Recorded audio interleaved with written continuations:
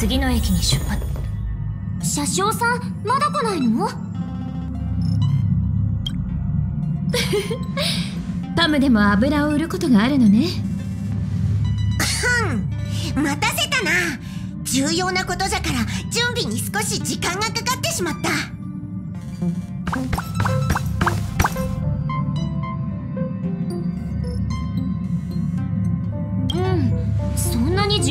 ことって何？乗客の諸君は知っとるじゃろうが次の列車の目的地は宴の星ピノコニーじゃ。皆が宇宙でも有名な星空ホテルをずっと楽しみにしておったことは俺も知っておる。じゃが出発する前に改めて3つのことを注意しておきたい。1つ目ピノコニーが位置するアスデナは奥室が充満しとる成形で歴史的に記憶域から漏れ出した大ホールの一つでもある。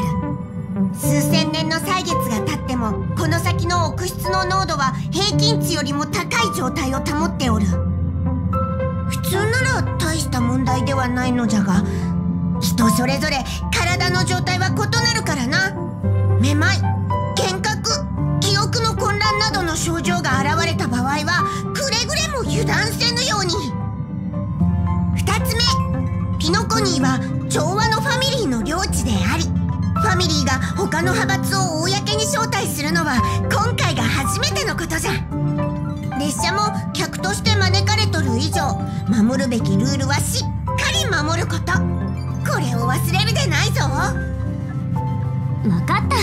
郷に入っては郷に従えってことだね。安心して車掌さん。七死人の顔に泥を塗るようなことはしないから。最後3つ目じゃがこれは注意というよりも無理を承知で俺から皆に頼みたいことがある。できれば休暇の合間に数人の七死人に関する情報を探ってきてもらいたい。私が説明するわ。列車が停車するほとんどの世界と同じようにピノコニーも銀機場にある駅だったの。数千年前そこはまだカンパニーの辺境の監獄で開拓がそこと数千もの星々をつなげていた。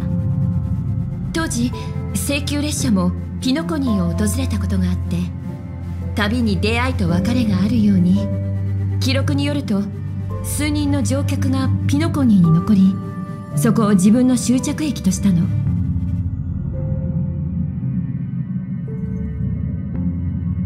あまり深刻に捉えないで。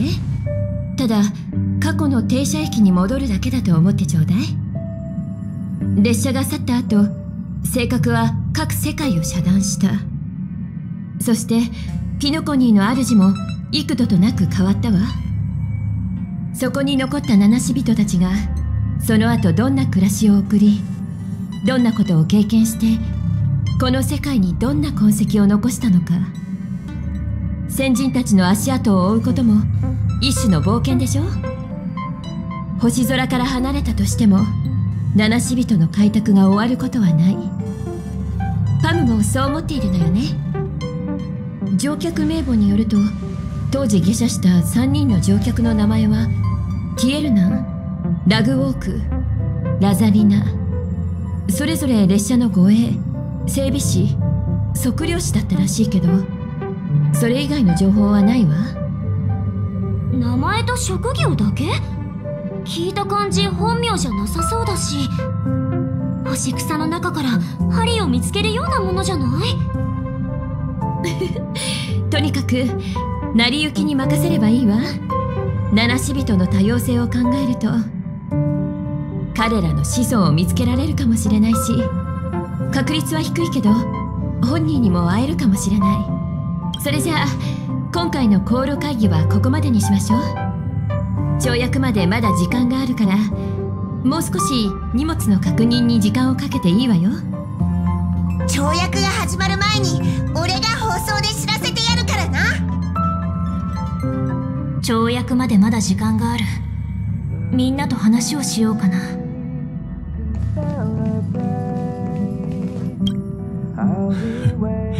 どうだ？出発の準備はできたか？ファミリーの領地なら刺激的なこともあまり起こらないだろう。俺からすれば少しもったいない気もするがせっかくの羽を伸ばせる機会だ。冒険の旅は確かに胸を高鳴らせるがただリラックスしている間もパムの頼みを忘れないでいてやってくれ。パムは俺たちのためにいろいろなことをしてくれた。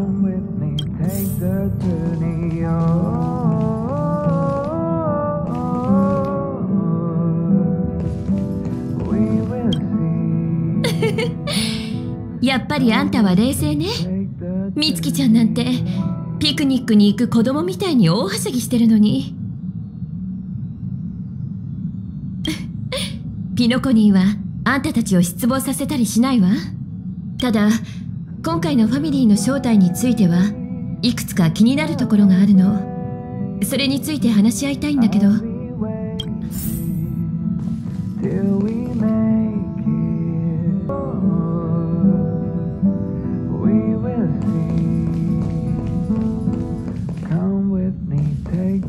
Turn.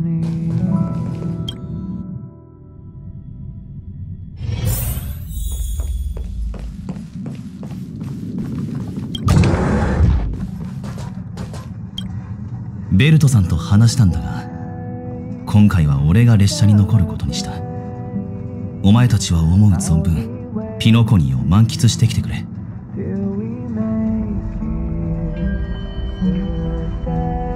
お前の気持ちはありがたいがあまり想像しいところは好きではないんだ。泉州のことは気にしなくていい。ピノコニーは旅の終着点ではないしお前も荷物の確認は念入りにした方がいいぞ。ファミリーのイミグレーションは手続きが面倒だと聞く。ホテルにチェックインした後に忘れ物に気づいたとしても後の。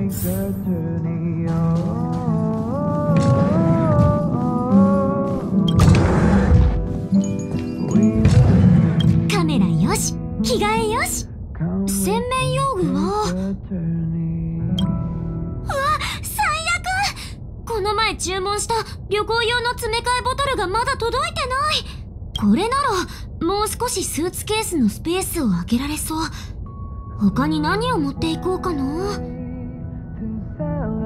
あんたなんかスーツケースに入るわけないじゃん。自分で歩いて。小説か漫画でも持っていこうかな。そうすればホテルの部屋でも退屈しないし。でも本って重いんだよね。迷うな。他に何を持っていこう？そろそろ時間だ。席に座ろう。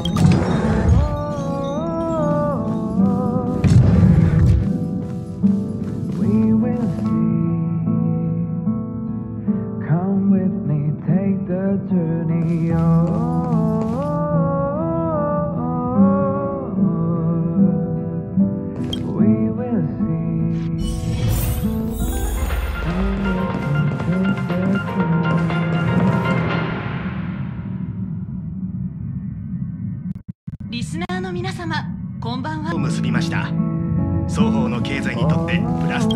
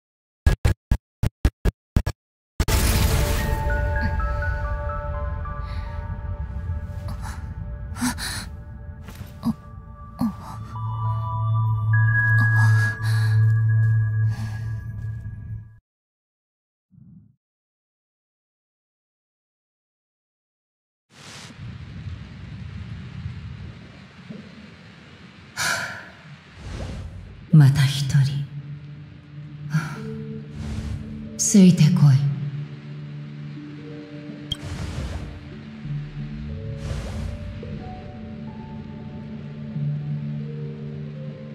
その質問には意味がない。だができる限り説明しよう。ここは現実と記憶域の境界。無境だ。今この瞬間あなたと私は偶然にも同じ夢を共有することになり互いの思考の中に現れた。これは私たちに対する夢の力の最初の挨拶だ。何も心配することはない。あなたはすぐにこの夢から目覚める。ここでの出来事はこうした忘却は朝を迎えるたびに起こっている。私たちにとってはすでに慣れ親しんだ日常だ。ついてこい。あなたを家に連れて帰る。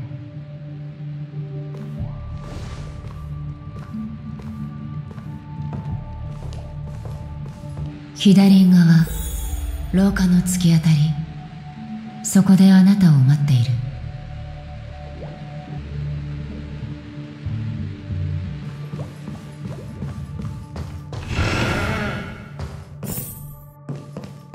巡回レンジャー。ヨミ周りからはそう呼ばれている。あなたもそう呼んでくれてそのドアを開けて美しい無境を覗いてみるといい。まだ記憶があるうちにな。ここれって？こっちだ。先に行け。壁の上を歩けってこと本当にできた。何を驚いているんだ？私の考えてることがわかるの？何を驚いているんだ？もうすぐ着く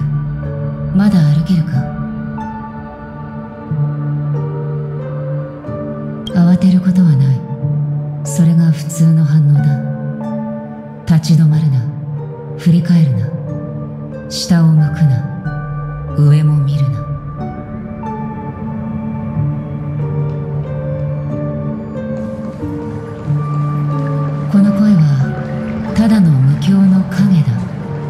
気にしなくていい。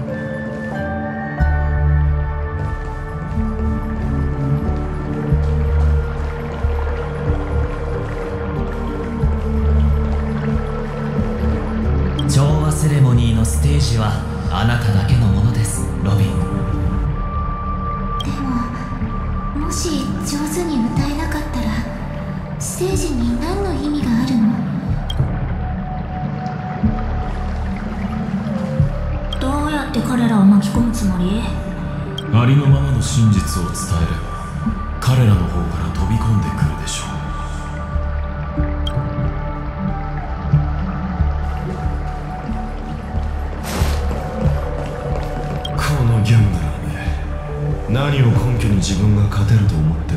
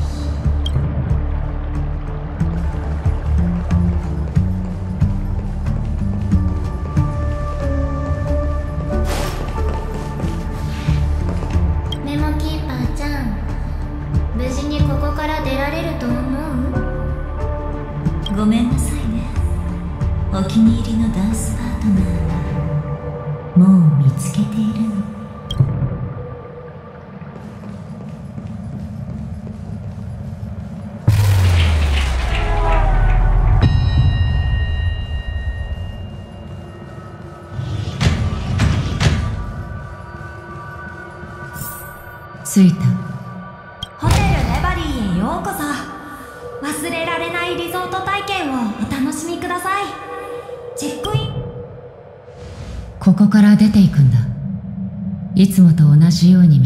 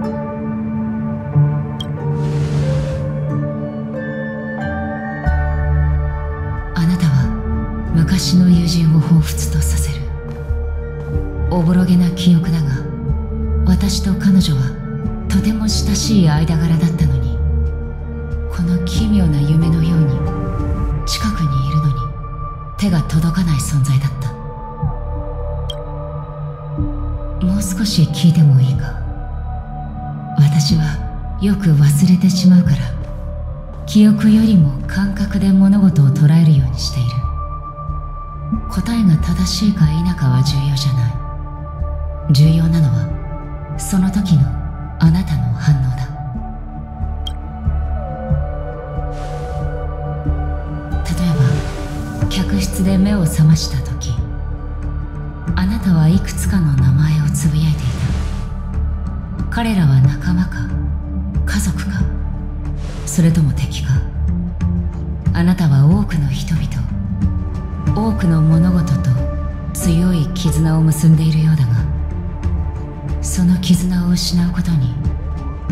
怖を感じるか。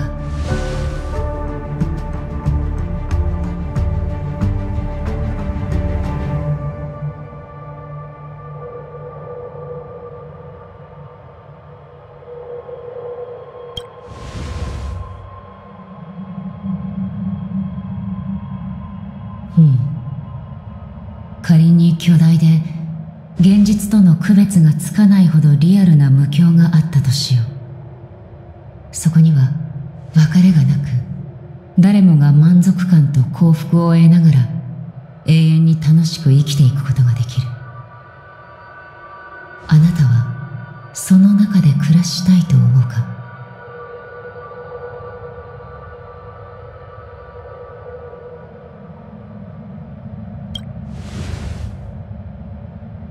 ならその美しい夢が壊れあらゆるものが消えてしまうとしよう。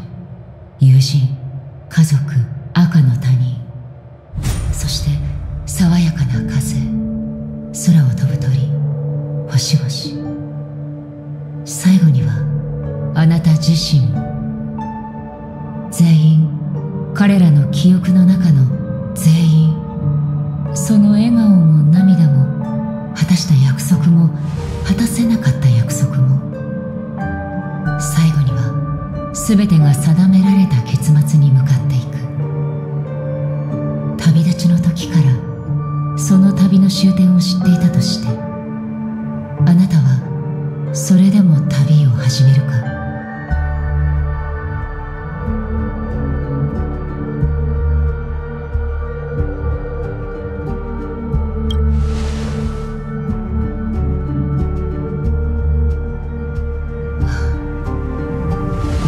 しい問いだということは分かっている。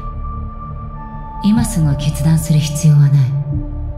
言っただろう。答えは重要ではないと。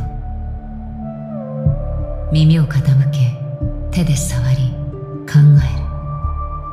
そうすることで感じ取れるものがある。それを大切にしてその感覚を頼りに選択すればいいんだ。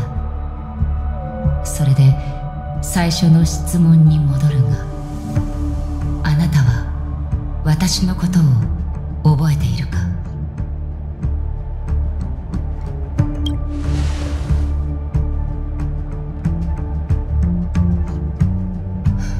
分かった。面白いな。さっきは無数の似て非なるあなたがそれぞれ全く違う答えを出しているようだ。今のが本当に最後の質問だ。ありがとう。私たちにはそれぞれ進むべき道がある。ここで別れることにしよう。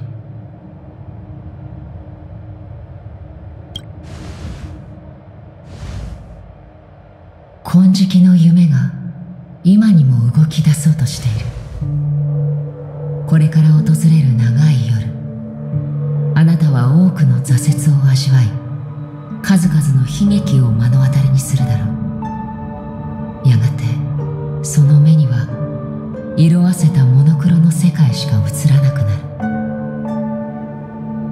る。その世界には一抹の赤が現れるが瞬く間に消えてしまう。だが信じてほしい。あなたが決断を下す時その赤は再び現れると。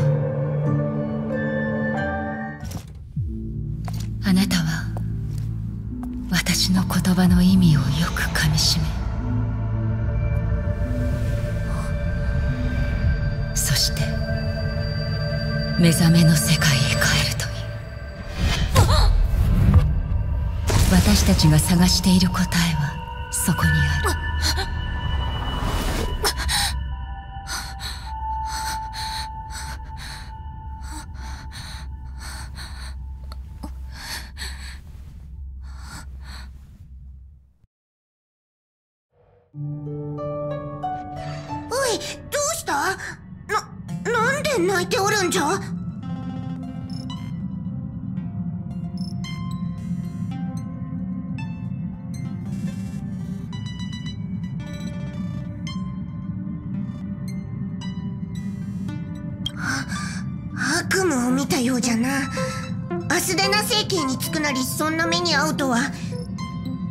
くれぐれも気をつけろ。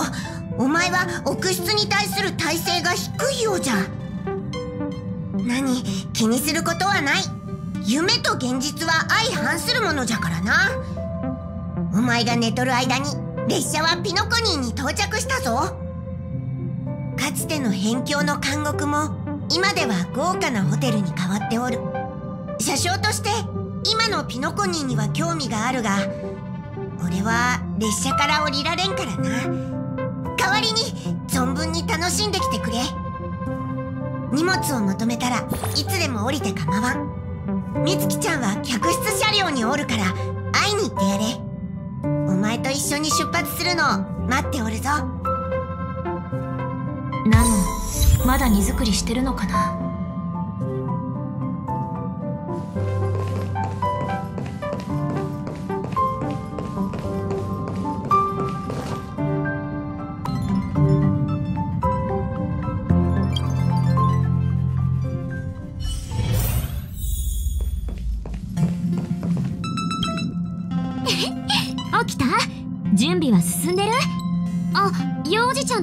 は先に降りてるよ。うちはあんたと一緒に行こうと思ってここで待ってたんだ。どうする？今から幼児ちゃんたちと合流する？宴の星ピノコに。宇宙で一番大きくて豪華な遊園地へ。出発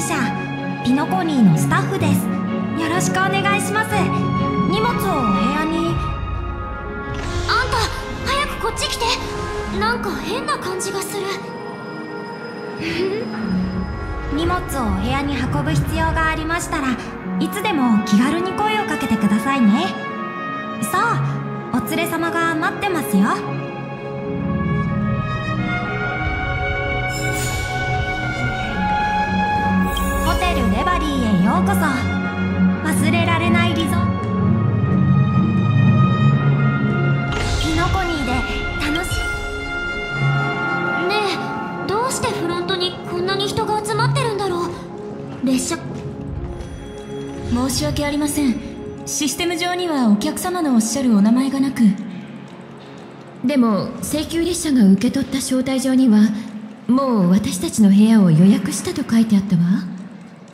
もう一度確認してもらえないかしら？かしこまりました。もう一度お調べいたしますので少々お待ちください。請求列車プラチナルームを合計4室。それぞれベルトイ王様姫子様美月七香様。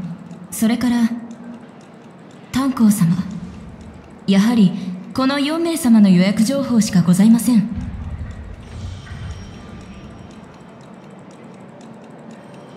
ああホテルの予約情報に君の名前がないらしい。そういうことか。道理で登録情報に彼女の名前がないわけだ。ファミリーに返信した時彼女はまだ列車に乗っていなかった。こういうのはどうだ？俺たちと旅をしている炭鉱は急遽予定が入って宿泊できなくなった。だから炭鉱が予約していた部屋をこの子に譲ってもらえないか？これなら人数も変わらないだろう。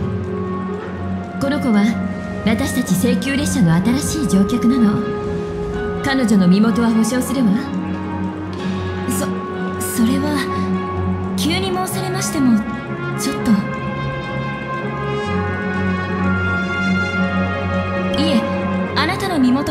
っているわけではありません。ただ調和セレモニーを目前に控えた今ピノコニーは今琥珀期で最も重要な瞬間を迎えている。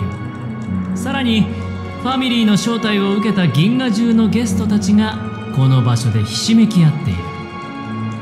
ホテルの警備は厳戒態勢で少しのミスも許されない。いきなりあれこれ言われてもこちらのお嬢さんに決定権があるわけでもない。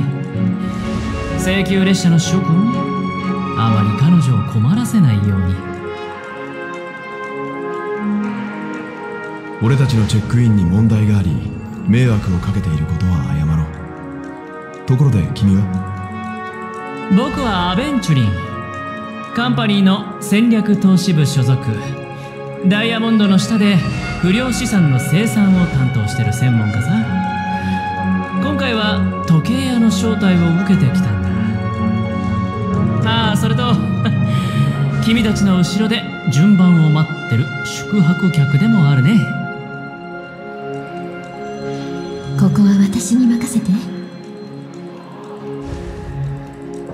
スターピースカンパニーもピノコニーから招待を受けたと聞いてるわ。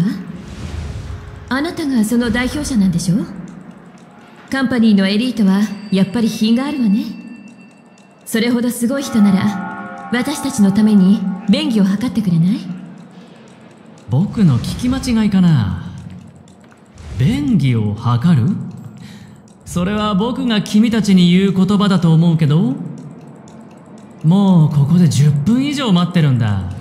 僕にとって十数分がいくらの信用ポイントに値するかわかるかい？きっと天文学的な数字でしょうね。アベンチュリンさんだからこそ今ここには見逃せない投資があると思わない？カンパニーの影響力は全宇宙に広がっていて当然その言葉にも重みがある。あなたの肩書きを使って彼女の保証人になってもらいたいの。そうすればあなたは貴重な時間を節約できるだけじゃなく新しい友達を作ることもできるわよ。それは面白い。それでその友達は僕に何をもたらしてくれるのかな？それはもっと面白い話になるわ。同じ時計屋の招待客同士まずはピノコニーで身ほどきを済ませてそれからゆっくりお互いのことを理解していくのはどうかしら？構わないよ。でもナビゲーターのお姉さんに一つ忠告しておこう。僕が手を出せばその節約された時間は君たちが僕に与えたものではなく僕が自分のために勝ち取ったものになる。わかるかい？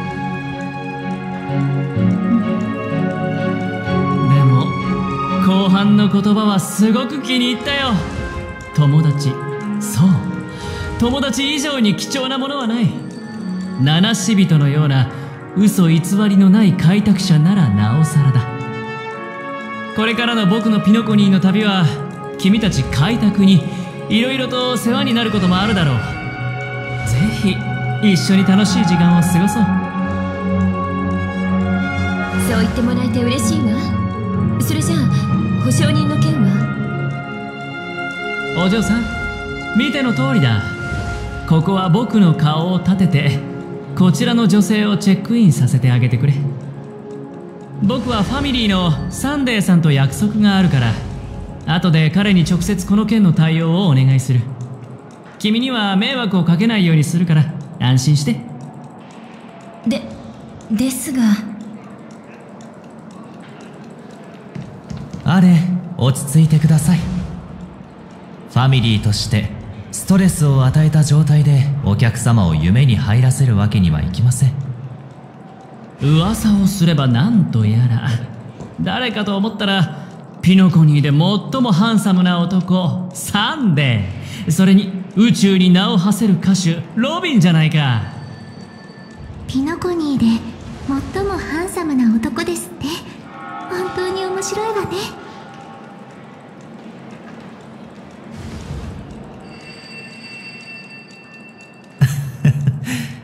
お待たせしましたアベンチュリンさん。こちらへどうぞ。場所を変えてお話ししましょう。請求列車の皆さんこちらで少し休んでいてね。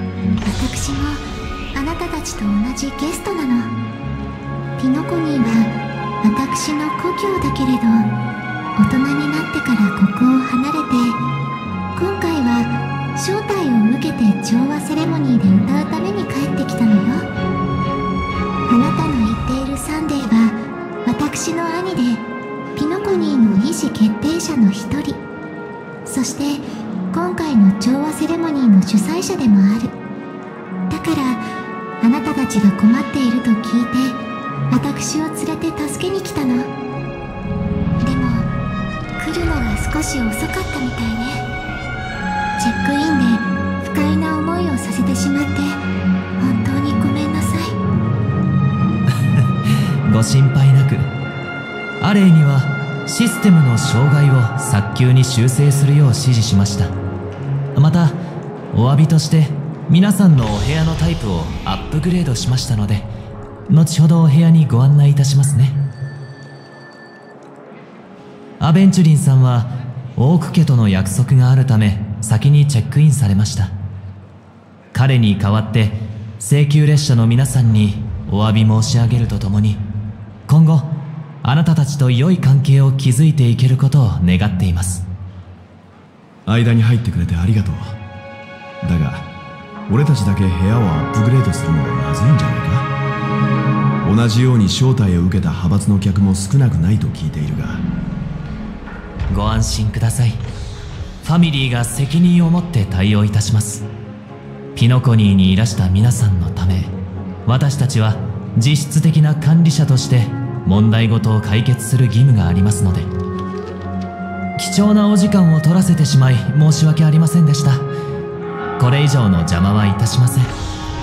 ピノコニーでの滞在中必要がありましたらいつでもファミリーがお手伝いしましょう。夢の中で素敵な時間を過ごしてね。本当に波乱だらけ。あのサンサンデーさんが保証してくれたならチェックインできるはずだよね。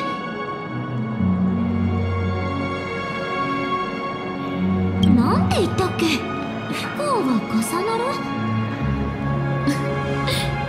不運は幸運の前触れ。とも言うわよ。さあもうロビーに並んでる人もいなくなったしアレンさんのところに行きましょう。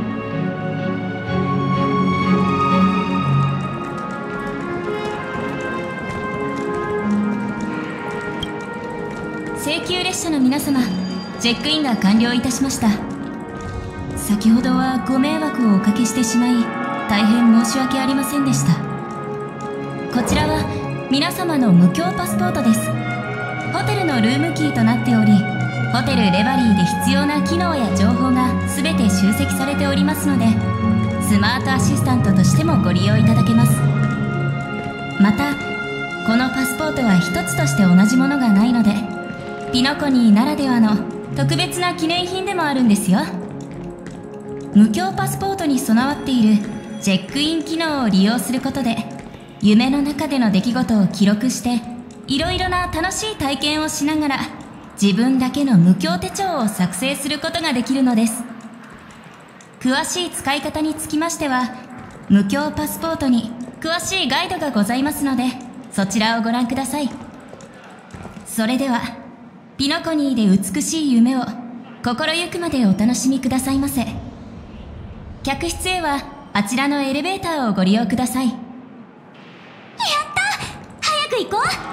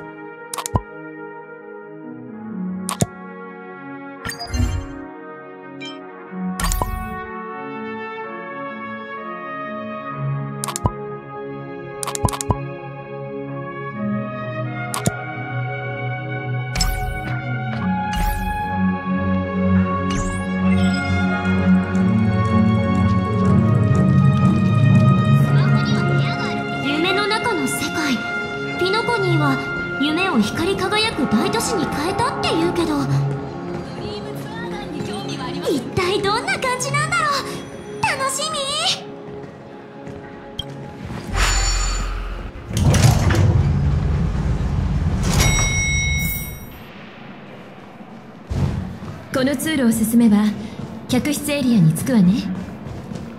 ずいぶん長い通路だな。このホテル少し大きすぎやしないか？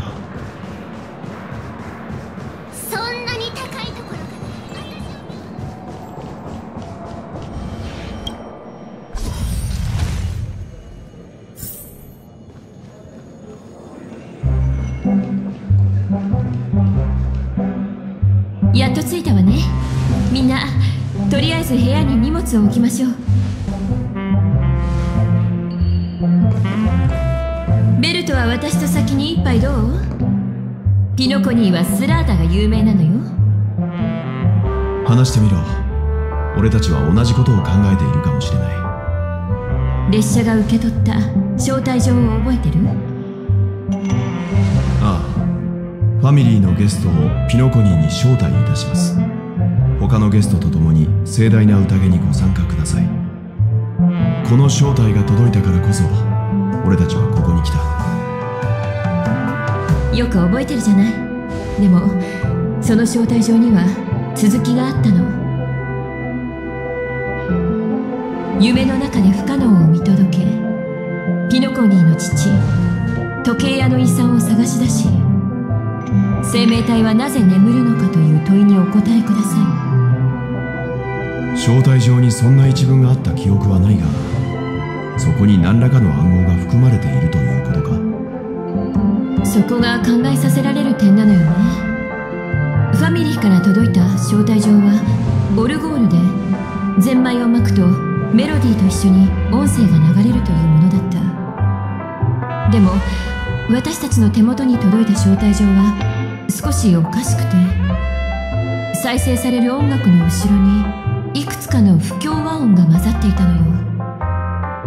その雑音をダビングしたら列車が跳躍する時の重力波の周波数と完全に一致したの。そして列車のエンジンの空間極率をシークレットキーにしたところさっきの一文が得られたってわけ。七死人がよく使う救援要請の手段だな。まだ結論は出せないわ。仮面の愚者のいたずらかもしれないし手口だけ見ればリドラーや問いかけの魔物にだってできるもの。いつ気づいたんだ？あんたたちがラフの性格を処理している時すぐにパムに知らせたわだからさっき自分から彼の相手をしたのか。あのカンパニーの死者も時計屋という名前を口にしていた。おそらく同じような暗号を含んだ招待状を受け取り同じように解読したんだろう。もう一つ気になっていることがある。招待状に言及した時あのファミリーの意思決定者はピノコニーにいらした皆さんのため私たちは実質的管理者として問題ごとを解決する義務があると言った。今考えてみるとあの言葉には言外の意味が含まれていたような気がする。それに彼の横にいたロビンという女性。歌のことはわからないが彼女の声は少し変だった。ステージで歌を披露する歌手があんな声をしているものなのか。あんたはファミリーが招待状の差出人ではない上に何か隠し事をしているんじゃないかって疑ってるのね。ありえない話じゃない。ファミリーが他の派閥を招待すること自体普通ではないからな。姫子の発見は第三者が関与していることを示唆している。列車での発言を撤回しよう。この宴は厄介だぞ。ところでどうして子供たちに伝えないんだ？これがピノコニーやファミリーの内部の問題なら私たちが軽率に介入すべきじゃないもの。だが姫子の言うようにこの件は開拓と関係しているかもしれない。ええそう言ったわね。だからだから出発する前に美月ちゃんとタンコンには話したの知らなかったのは俺だけか。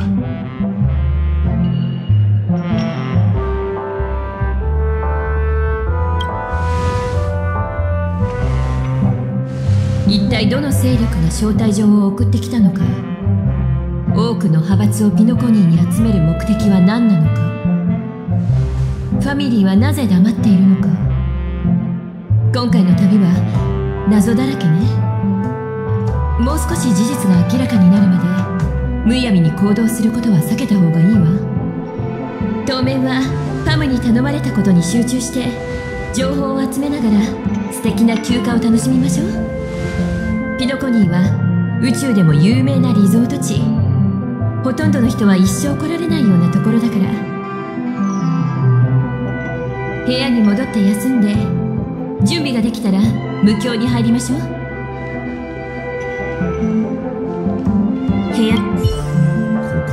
この装飾は何というか少しうるさいな。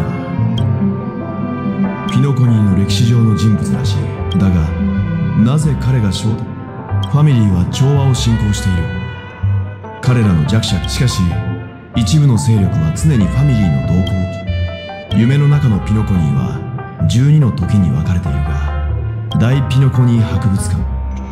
覚醒客室のドリームプールから本当のピノコニーに行ける。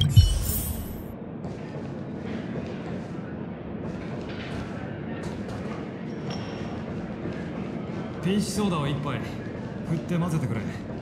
かき混ぜる必要はない。どうしたの？まだ眠らないの？部屋宴の星について話すなら時計屋に触れないわけにはいかない。でもこの話がどこまで本当かはわからないわ。時計現時点ではこの招待状が本当に時計屋何か企んでいるカンパニーの使者事情が明らかになるまでどの関係者とも夢の中のピノコニーは12の独立した無教に分かれていて私ならネッサの時がいいわ。あそこの風酒場宴の先行は七死人の開拓。予想外のことが重なって時間がなのはもう部屋に戻ったのかな？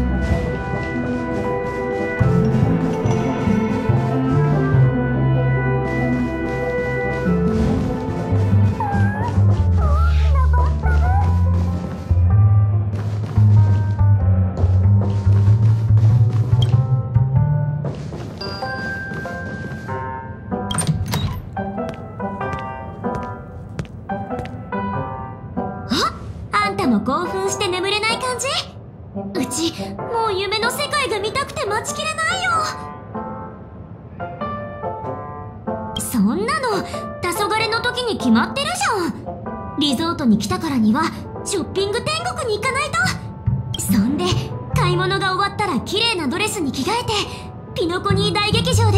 ロそういえばちょっと気になってるんだよね。幼児ちゃんも気づいてたっぽいけどロビンさんの声もしかしてこの前の銀河ツアーで疲れちゃったのかな？あんな状態。最初は本当に休暇を楽しむんだって思ってたけど今はもしかしたら肉親の仲違いとか家の没落とか死別とか死ぬただの冗談だよ。そんなことあるわけないじゃん。大丈夫。たとえ空が落ちてきたとしても幼児ちゃんと姫子がどうにかしてくれるから。うち。おかしい。あれ？あの人って。また会うなんて。本当に奇遇だね。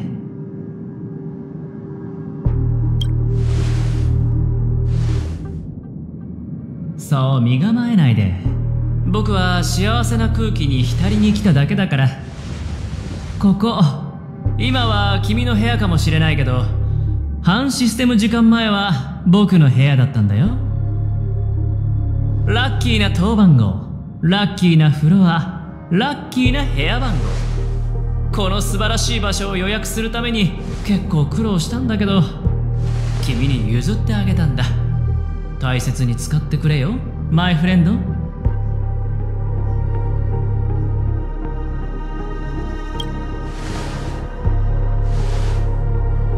決まってるじゃないか。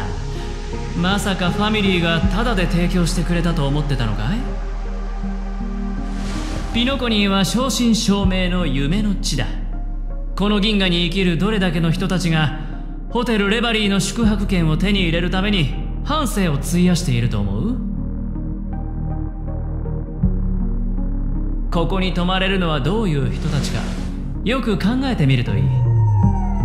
僕が裏で手を回さなければファミリーがそういう大物たちを敵に回してまで君みたいな招かれざる客に門戸を開くわけがないだろ？だからほら座って話をしようじゃないか。感情の面でも道理の面でも僕にはその資格がある。違うかい？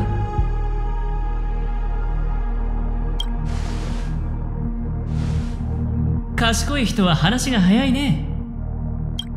簡単に言うと僕には君の助けが必要なんだ。君は知らないかもしれないけどピノコニーは見た目ほど単純じゃない。ここにはあちこちにファミリーの手の者がいる。はっきりとは言えないけどわかるだろ？僕の目的は単純明快。カンパニーのものを取り戻すことだ。もし君が手伝ってくれるなら成功した暁には十分な見返りと孫悟の加護を得ることができる。何しろ君は他の人とは違うからね。君は特別。そう。このゲームをひっくり返せるくらいに特別だ。その力を使ってみたくはないかい？あるいはそれから離れたいとか宇宙に名を馳せたいとか。思ったことはないかい？誰もが恐れ渇望する力が君の手の中にある。性格ちゃん？そうだろ？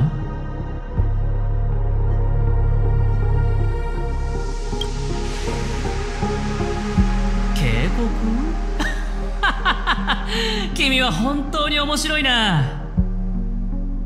考える時間も欲しいだろうから。今すぐ答える必要はないよ。木が熟したらまた僕の方から君に会いに来よう。もちろん君も仲間と相談しようが逆に僕を利用しようが構わない。何だろうと歓迎する。それも君たちの価値を僕に証明することにつながるからね。僕は損する取引はしない主義なんだ。フレンド諸君。僕をがっかりさせないでくれよ。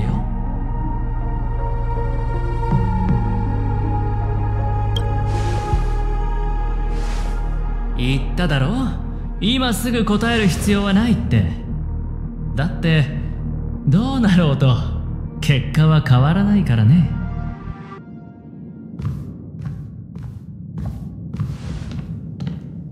ああそうだ。出ていく前にゲームをしよう。何？お互いをよく知るための簡単なゲームさ。こうして知り合った以上君にはもっと僕という人間の性格や物事の進め方を理解してもらいたいからね。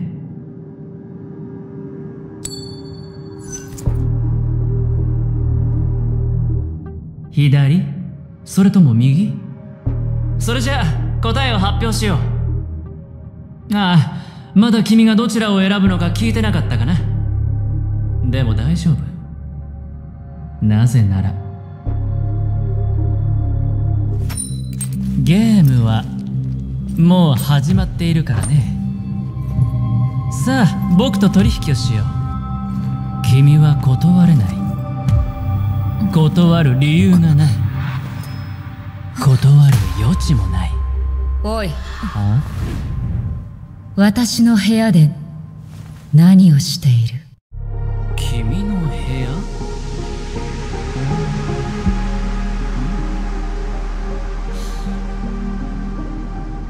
すごいな。ピノコニーに来て間もないのにもう他人を仲間に引き入れる術を身につけたのか。誤解しないでくれ。さっきは君に注意したかっただけなんだ。ここは人で溢れていてよからぬことを考えてるやつも多いから十分に気をつけた方がいいってね。例えばドアを閉め忘れないようにするとか。じゃあ僕はこれで失礼するよお嬢ちゃん。楽しい時間を過ごせますように。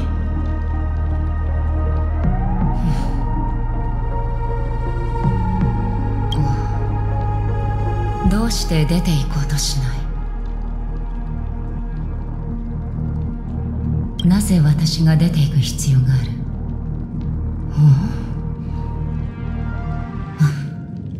うんからかっただけだ。気にしなくていい。ここは間違いなくあなたの部屋。さっきあの男が廊下でコソコソしていてな。自分の部屋に戻るようには見えなかったから。少し警戒していたんだ。その後あなたが同じ部屋に入っていくのを見てなんとなく理解した。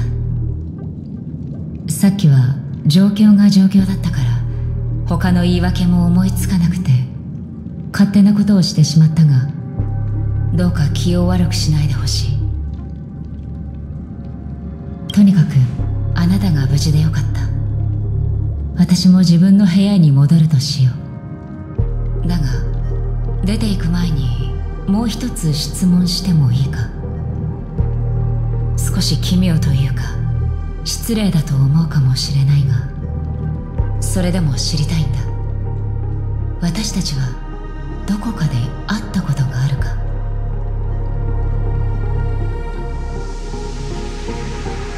そうか。さっきからずっと懐かしい感覚がするんだが。既視感というものなのだろ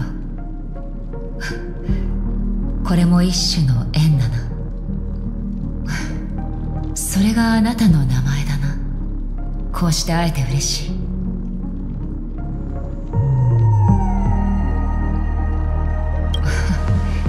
忘れたのか？あの男が去り際に言っていただろう。いくら記憶力が悪いとはいえ数分前のことを忘れるほどじゃない。巡回レンジャーヨミ周りからはそう呼ばれている。あなたもそう呼んでくれて構わない。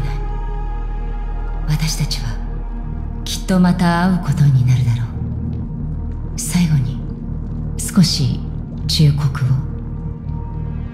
決死の覚悟と信念を抱きながらもそれを正しいことに使おうとしない連中がいる。あの男の顔には私のよく知る表情が浮かんでいた。刀を携えていれば何かを切る定めにある。そしてギャンブラーは負けて全てを失う前に必ず排水の陣を敷きオールインに打って出る。私が言えるのはここまでだ。こういうことは選択する前に知っておくべきだからなじゃあ私はこれで失礼する。ヨミは帰っていったけどおかしい。さっきからずっと変な感じがする。まあいいや。いろいろあったけどこれでようやく眠れる。え？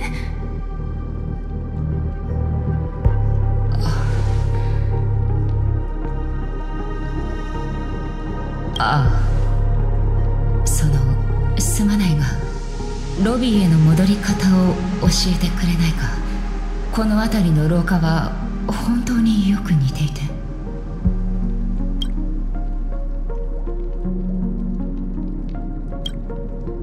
やっと終わった。無料パスポートのガイドの通りにドリームプールを操作しよう。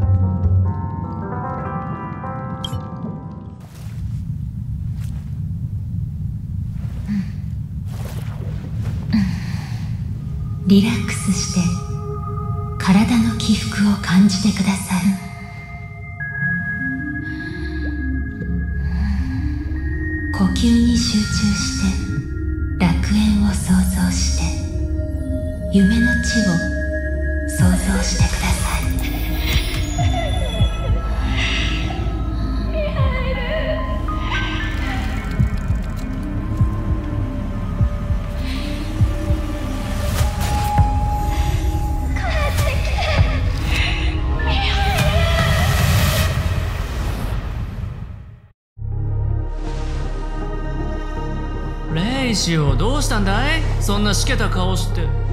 あれ？君のかっこいい石膏刀は？4分16秒の遅刻だぞ。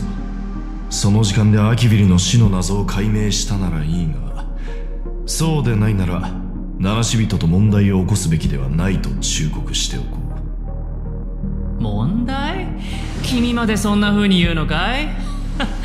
僕は本当に彼らと友達になりたいと思っているのにどうして誰も信じてくれないのかな？やかましい奴に友人などできるものか？ここで豆知識を教えてやろう。アティニークジャクは宇宙でも一二を争うほど耳障りな鳴き声を上げる鳥だ。そして君の身なりは派手なクジャクによく似ている。そのクジャクの羽も誰かにきれいにむしり取られたようだが荷物はファミリーに没収されたのか？あああの灰色のスーツを着たやつに全部取り上げられちゃってね。祝い金も奇跡を入れてたケースも。おや？どこに行くんだい？帰るに決まっているだろう。バカのせいで全て台無しになったとカンパニーに報告する たかが石ころ数個くらいでそんなに悲観的にならなくても亡くなったからなんだって言うんだ。あの砂金石がなければ君はカンパニーから死刑宣告を受けたツガンニアの奴隷でしかない。それとも君の首にある商品コードも琥珀の王から賜ったものなのか？へえいいね面白いどうやら博学な友人はしっかり予習してきたようだ。それが僕の仕事だからな。そうでなければどうやって一人のギャンブラーがカンパニーの代わりにピノコニーを取り戻すんだ。安心して教授。方法ならあるから。ファミリーはカンパニーの介入を恐れているからこそ断るごとに対立している。もしかするとピノコニーは最初から調和の陰謀だったのかもしれない。いいかい？あの招待状は自作自演の見せかけだ。おそらく彼らは調和セレモニーで何か大きなことをしようとしている。あるいは招待者は別にいるけど彼らはそれを黙認してさらに大きなことを企んでいるのかも。まあどうでもいいけどね。ファミリーでも時計屋の遺産でも僕の役に立つならそれでいい。要点を言え方法とは何だ？今はそこまではっきり教える必要はないだろう。まだ切り札を出す時じゃない。憎たらしいギャンブラーめ。協力の前提は互いの信頼だというのに。ツガンニア人の幼児教育にはそんなことも含まれていないのか？なら君は僕を信用するかい？それは君の態度次第だ。つまり君も僕を信用していない。それなら構わないだろう。あと僕は教育を受けたことも両親からそんな教えを受けたこともない。僕に何か教える前にいなくなっちゃったからね。すまない。悪気はなかったんだが。気にしなくていいよ。でも両親は僕に友人こそがエビキン人の武器だと教えてくれた。調和が虎視眈々と狙っている状況じゃ僕たちの友人も大いに越したことはない。えーとガーデン・オブ・リコレクションと請求列車はすでに接触していてアナイア・レイトギャングは望み薄かな。準備の騎士団は招待に応じるかどうかわからない。パブの連中は。そういえばさっき会った人は巡回レンジャーだって言ってたっけ？何か変な感じがするな。君ちょっと彼女の素性を探ってみてくれないか。あれ？いない？そこまで僕を嫌わなくてもいいのに。やれやれ。どうやら自分でやるしかないみたいだ。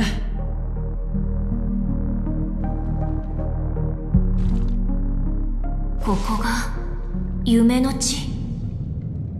なんか不気味な雰囲気。それにさっき変な音がしたような。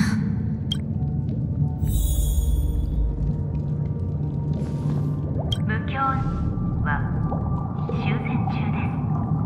ホテル。これはメモ？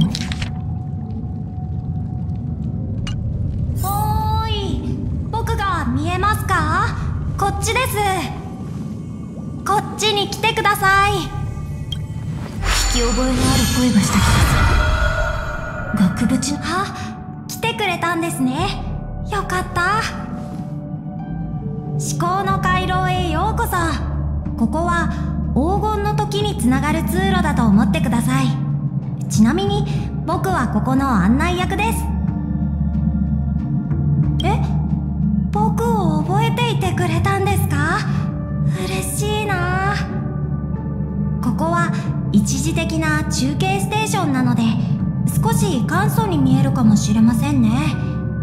無教内のホテルレバリーは今修繕工事中なんです。滞在中に不便をかけてしまってすみません。でも黄金の時に行けばきっとあらゆる悩みがきれいさっぱり吹き飛びますから。向こうの門を通り抜けるだけで黄金の時にたどり着けますよ。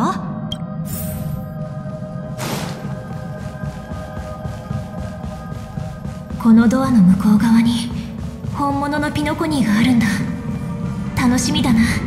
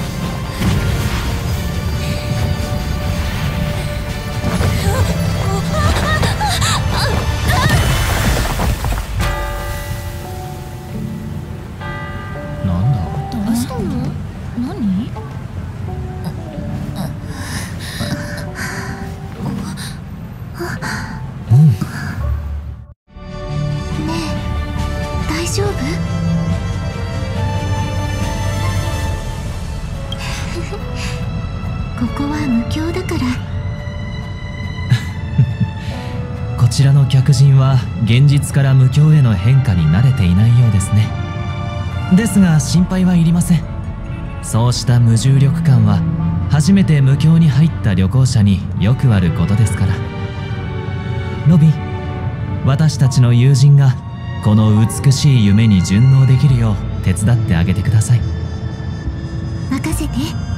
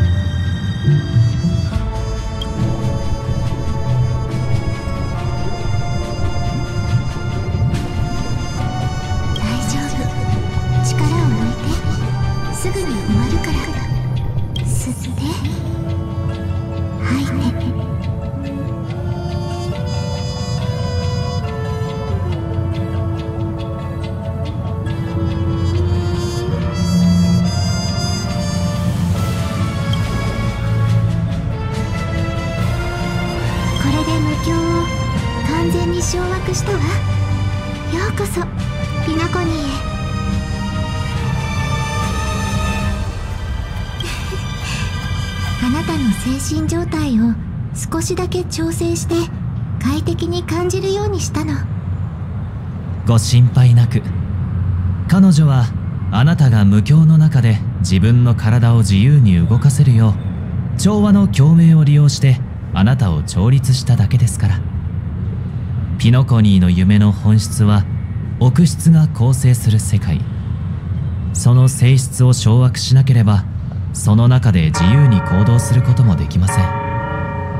例えば泳ぎを覚えたばかりの人は浮力に適応できずに水に沈んでしまいますが体が水の流れになれれば自然と水面に浮かぶことができるでしょう。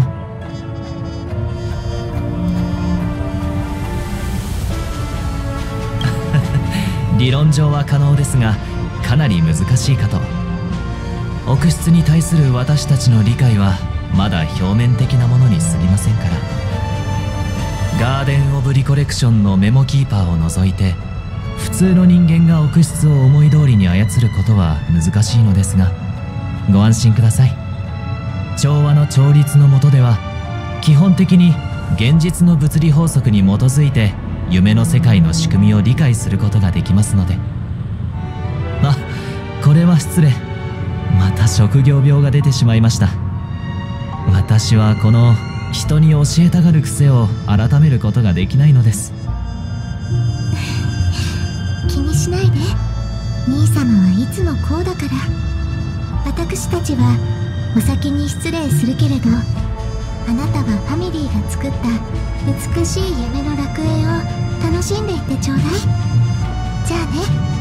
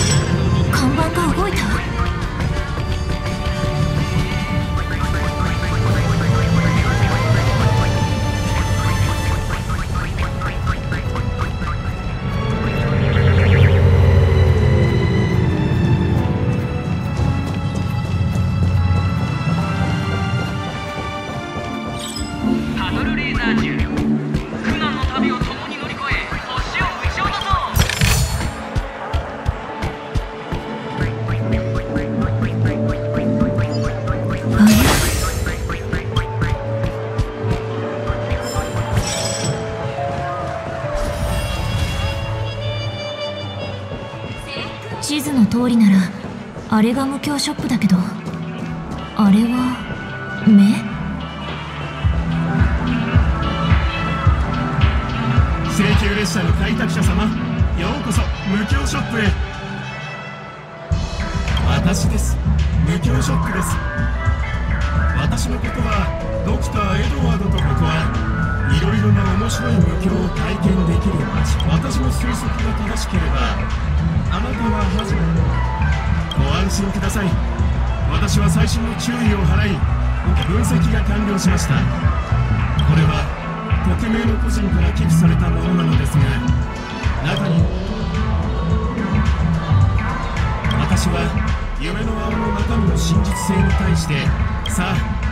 마셔.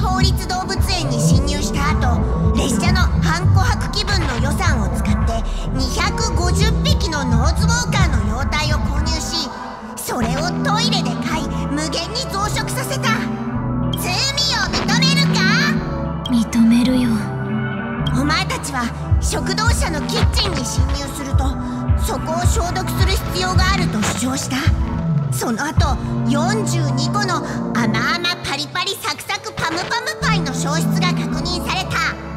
そりゃ罪を認めるか？それは自分でやったんじゃないか。まあ確かに列車鍋は持って行ったけど。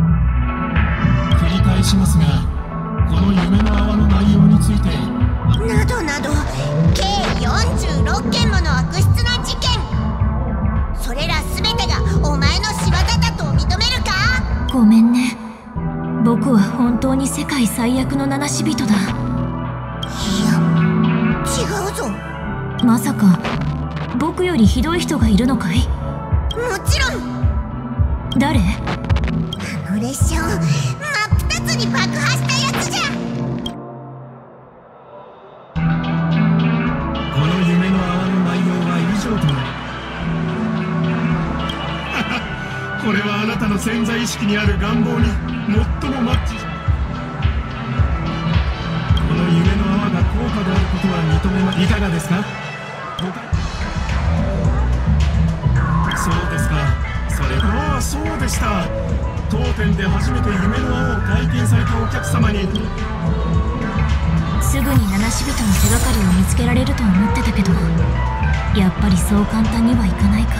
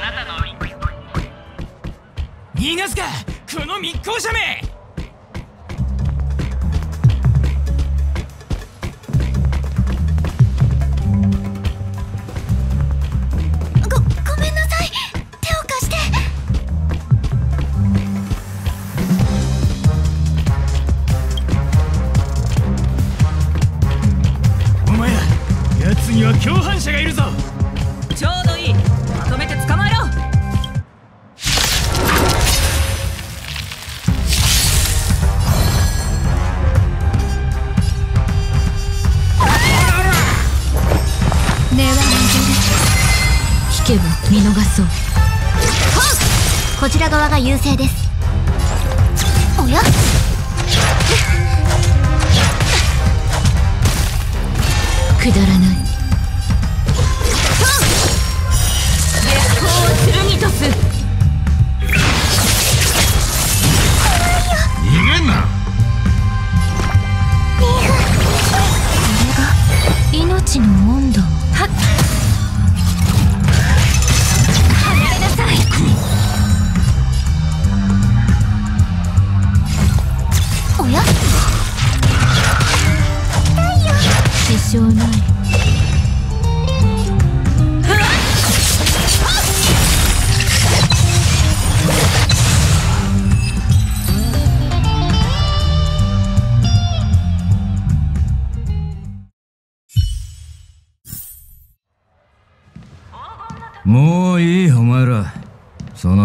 しておけ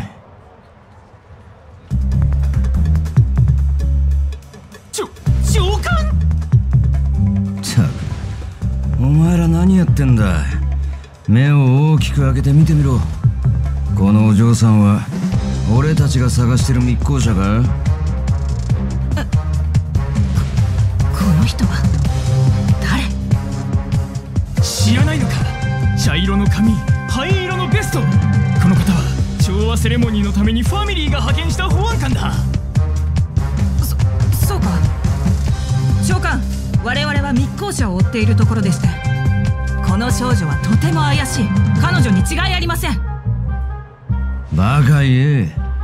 もう一度よく見てみろ。目撃証言によれば犯人は銀色のやつだ。なのにお前らが捕まえたのは銀髪の女の子。銀色と銀髪を一緒だと思ってるのか？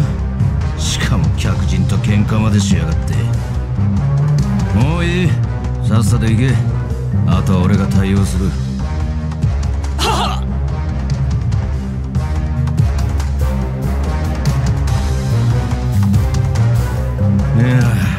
当に申し訳ない。大切な客人の前で恥をさらしてしまった。俺はハウンド家のギャラがあのバカどもは俺が育ててる子犬なんだがまだ若いこともあって経験が浅くてな。俺の指示を誤解してピノコニーの大切な客人を犯人扱いしてしまったようだ。はあ本当に失礼なことをした。ハウンド家を代表して心から謝罪するすまなかった。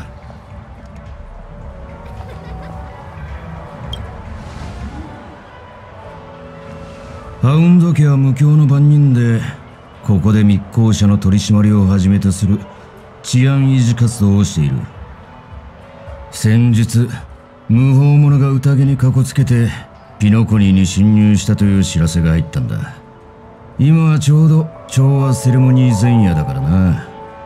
実際よからぬことを考える奴も少なくない。安心してくれお嬢さん。これはきっと誤解だ。こんな可愛らしいお嬢さんが密航者のはずがない。ありがとう。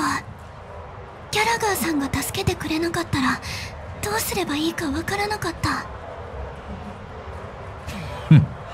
なに大したことじゃないさ。俺は他の用があるから先に行くが何か困ったことがあったら近くにいる子犬を通して連絡してくれ。それじゃこの夢を楽しんでいってくれよな。さっきは君のおかげで助かったよ。危うく連れて行かれるところだった。本当にありがとう。今気づいたんだけど君って七死人だよね。ピノコニーに来るのは初めて。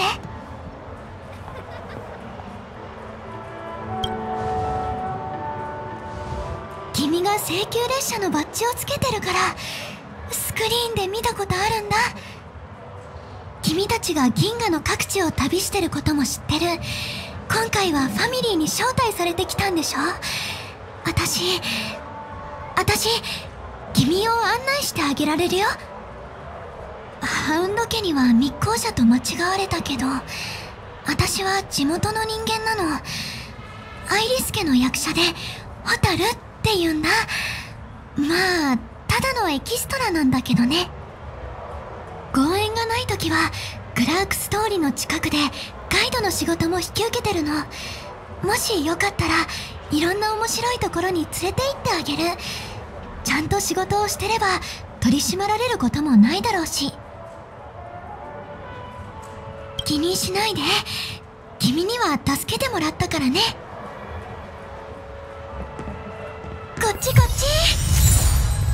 この機会にここのことを知るのも悪くないかも。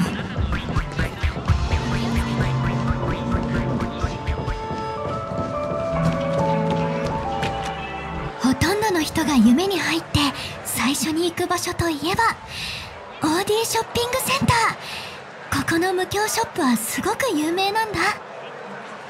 その他にもいろんなブランド品とか洋服とか流行のおもちゃ屋さんとかそれからカーディーラーまであるの。十分なルーサンコインがあればどんなものだって買えるよ。そういう商品は夢の中で使えるだけじゃなくて追加サービスを利用すれば現実世界に持ち帰ることもできるの。でもカーディーラーの窓口は最近公開されてないから車を買うのは別の機会にしてね。ショッピングセンターの外側は広場になってるの。こっちに来て美味しいものをご馳走してあげる。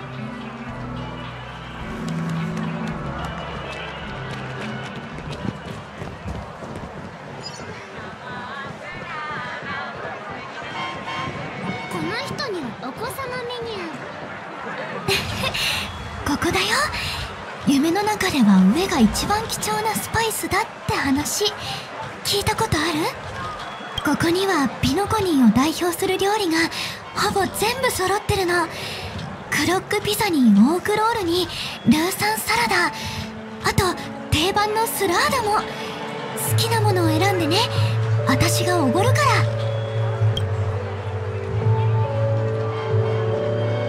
大丈夫。でも次は君がおごってね。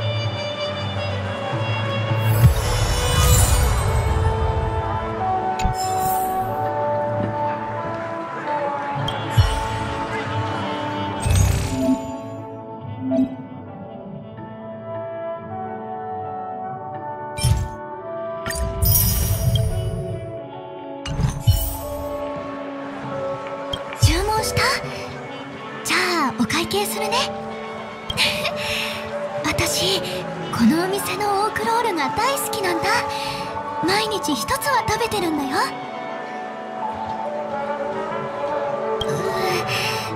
だから毎日一つしか食べられないの。歩きながら食べよう。次の場所に行くよ。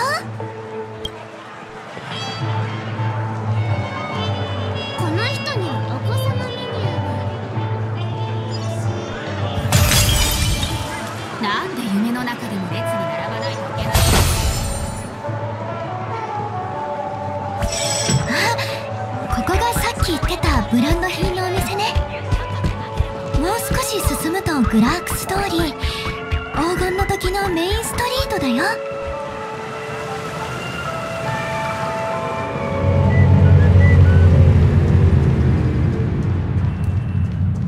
ほらこっちだよ。ついてきて。こっちこっち。面白いもの見せてあげる。てこの像はピノコニーの有名なキャラクタークロックボーイ。ピノコニーで一番歴史のある有名なアニメで美しき夢の街で暮らす主人公クロックボーイとその仲間たちの冒険を描いてるの。これまでに1万話以上放送されてるんだよ。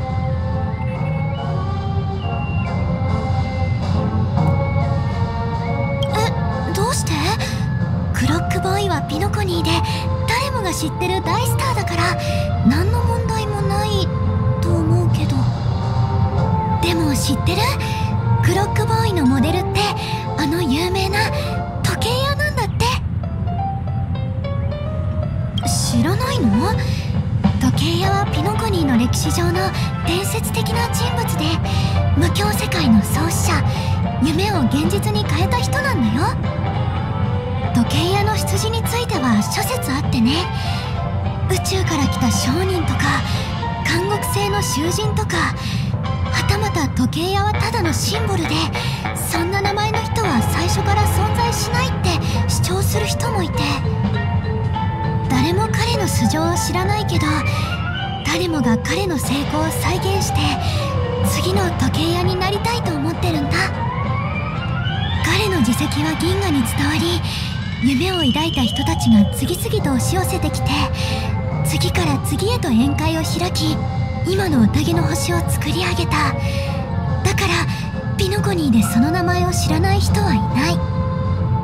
アニメのクロックボーイはおっちょこちょいで自慢話が多いけど私ね時計屋は七死人だって説を信じてるの。だって夢を開墾するってすごく開拓っぽいもん。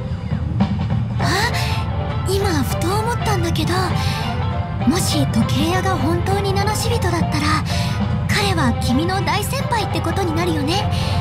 ねえ彼と記念写真撮りたいと思わない？撮りたいなら私が手伝ってあげる。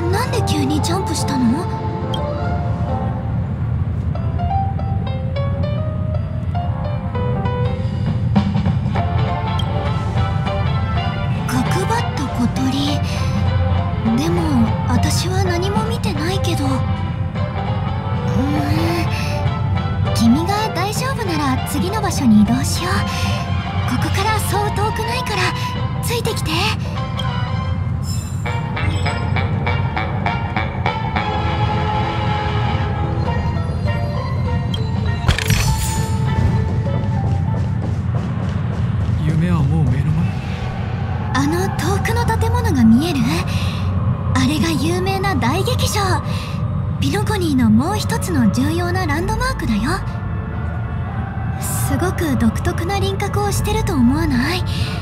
現実世界ではあれはアスデナの中央監獄だったの。それをファミリーが無境の中で回収して今みたいな光り輝くピノコニー大劇場になったんだ。建てられた時から大劇場は夢の世界のために調和の歌を奏で続けてる。そして一琥珀期に一度の調和セレモニーではファミリーのメンバーが劇場に集まってハルモニア聖歌隊を迎えピノコニーに永遠の平和の祝福をもたらすの。私たちがいる場所はまさに黄金の時の最高の展望ポイントなんだ。ほらここには特別に望遠鏡が設置されてるでしょ。もうすぐコンコ白期の調和セレモニーが始まるから早めに席を取りに来てね。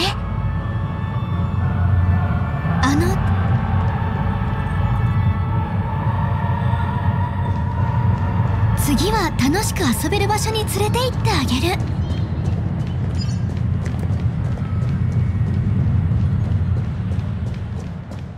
この先はスラーダレクリエーションエリアエディオンパーク。ここは人が多いからはぐれないよ。ここは黄金の時で一番規模の大きい公園でピノコニーのソーダ文化のシンボルでもある。あの超巨大なソーダボトルがラーダ社の本社ビルだよ。スラーダの起源は監獄時代に流行った甘い薬でスーサさんが発明したからスーサ水って名前が付けられたんだって。それから生還商人のエディオンがビジネスチャンスを見出してスーサ水のレシピを買い取ったの。彼はそれに大量の気泡を加えてスラーダと名前を変えさらにシロップ主義を打ち立てた。ラーダを飲むことは新しい生活様式だと主張してそれによって今日の奇跡的な成功を収めたんだ。知ってる？スーサ水の最初のレシピでは夢見草っていう今では絶滅した原料が含まれてたの。だから今ではピノコニーの夢でしか初代スラーダを味わえないんだよ。それにここでしかシロップ主義の本当の意味を理解することはできない。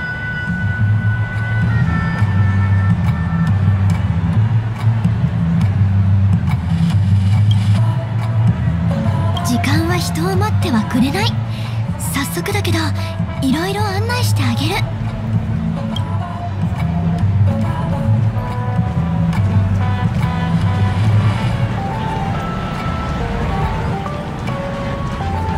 自分たちを演奏してる楽器はスイートドリピノコニーの夢では多くのものや設備が奥室の影響を受けて自我を持ってるの。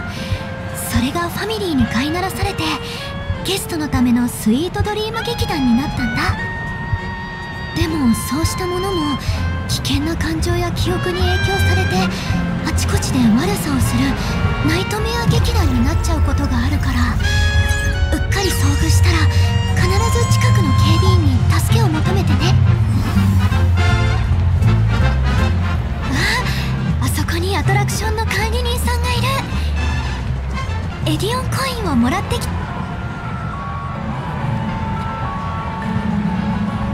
管理人さんこんにちは。私の友達は初めてピノコニーに来たんだけど彼女のためにエディオンコインを交換してくれない？もちろん構いませんよ。無料パスポートを見せていただけますか？氏名は？うーん。はい。パスポートとコインをどうぞ。楽しい時間をお過ごしください。コインは全部で何枚あ全部で10枚ですね。これでピノコニーのいろいろなアトラクションを存分に楽しめますよクションを体験してみよう。とりあえずの目標はコインを全部使い切ること。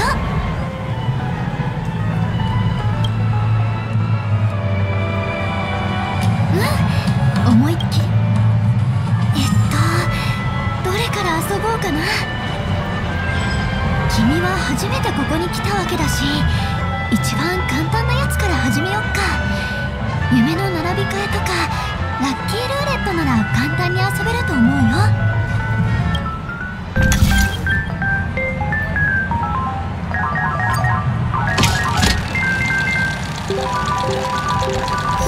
うん。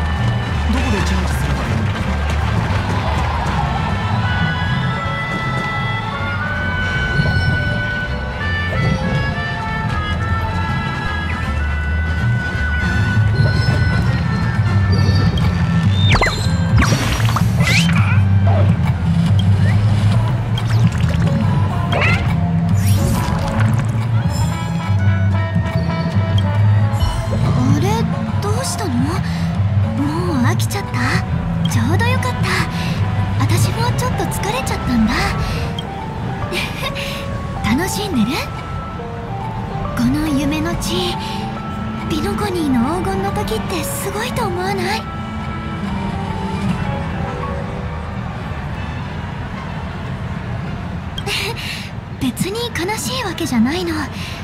ただこの夢はあまりに慈愛に満ちていて寛容すぎると思っただけ。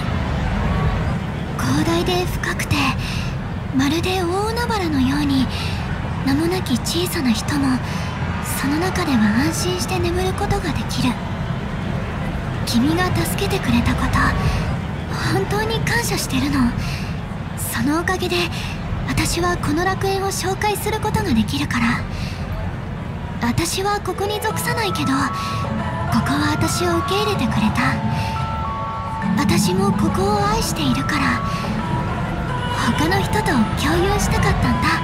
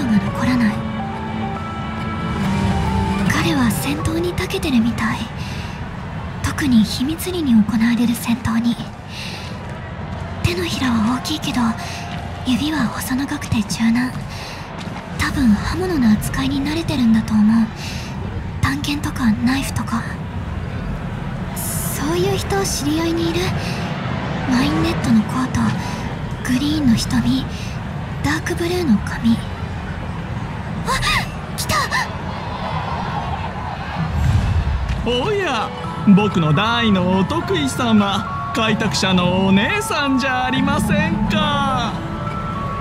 本当に久しぶりですね。まさかここであなたにお会いできるとは思いませんでした。いやはや本当に運がいい。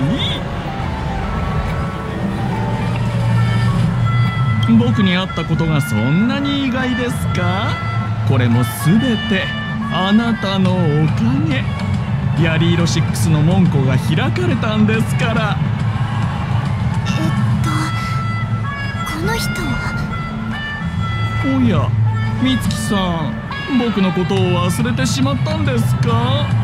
ベロブルグではあんなにあなたたちを手伝ったのに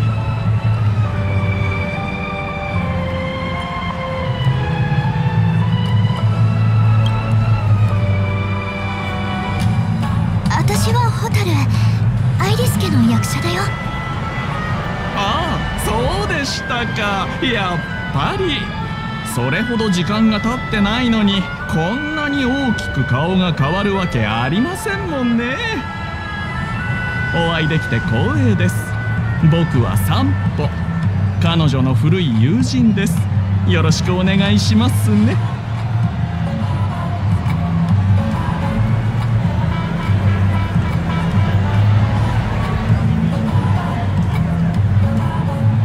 もうそんななこと言わないでくださいよ。せっかく会えたのにどうして行ってしまうんですか？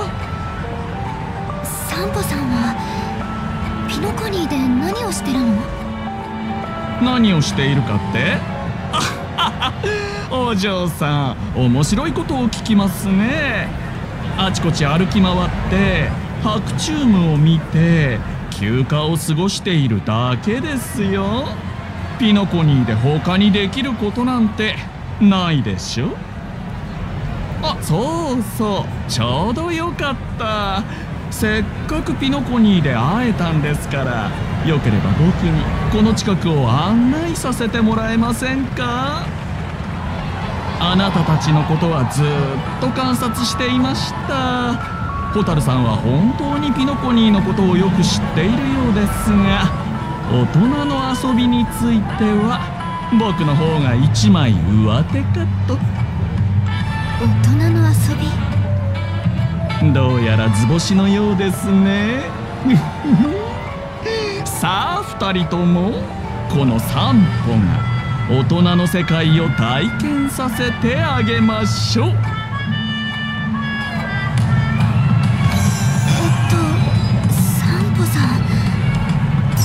ホタルさん何を心配しているんですか？安心してください。誓って公序良俗に反することではありませんから。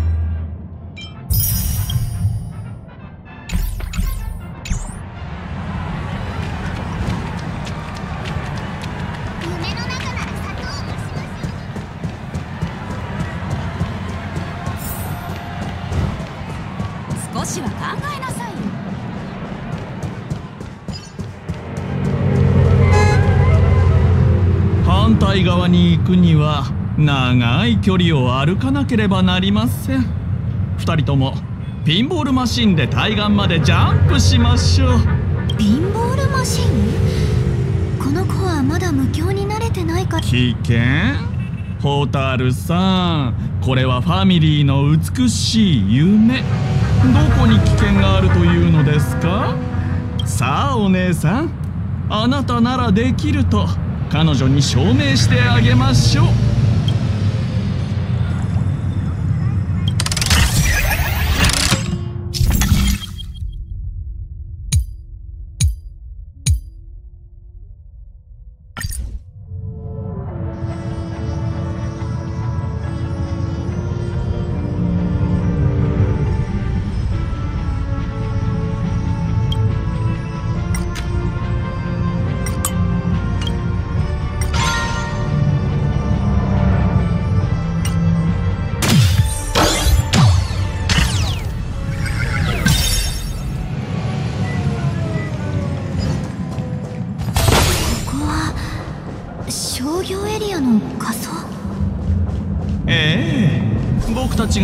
としているのはこの昨今のサロンは少し変わっていてピピシ人以外は VIP カードを持った顧客しか入れないんです。まこの散歩にできないことなどありませんが。おや用心棒のお兄さんまた会いましたね。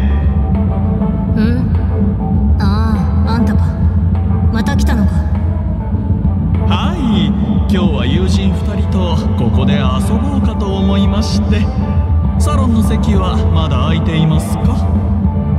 何人だ？3人です。ビップカードを見せてくれ。はいどうぞ。その友達2人のカードだ。あんたのもう見たからな。ああそれは僕の友達は初めて来たんですから VIP カードなんて持ってるはずないじゃないですか。僕のカードで融通を聞かせてくれませんか？この2人の身元は間違いなく信頼できると。僕のカードで保証しますから。それは無理だな。ルールを破るわけにはいかない。カードがないなら帰ってくれ。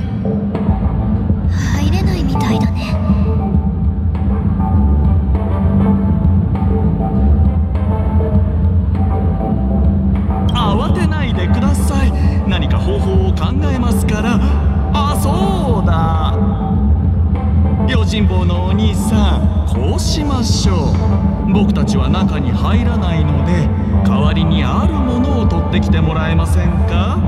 以前ここに預けたものなんですけど裏切りを選んだ瞬間疑念の暗雲死んでも消えない恨みボマーのお姉さんにピエロが用意した素材だと伝えてください。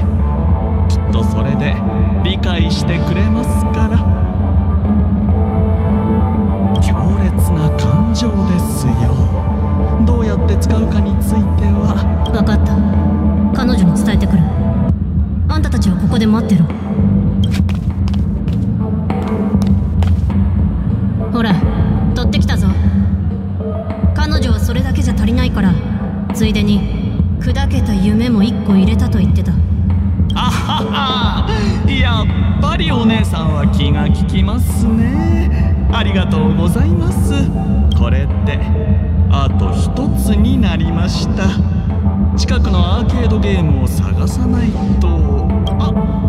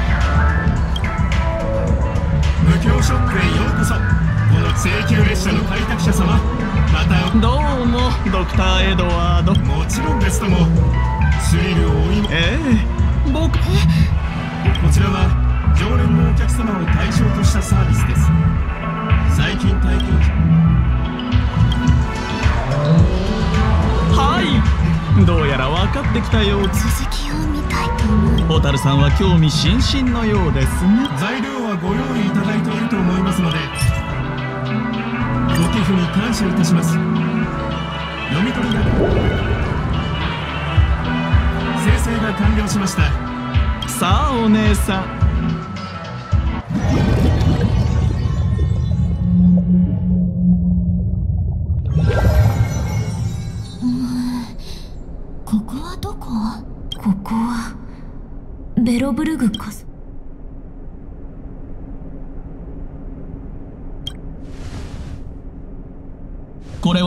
合図です。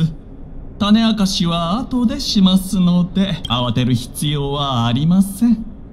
まずこれはまたメモ？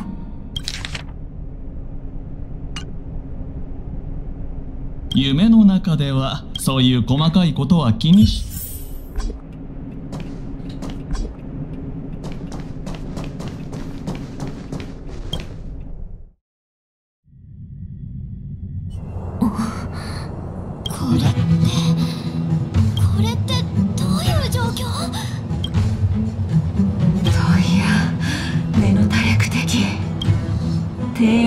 やわいしれマナーハエマナの。下は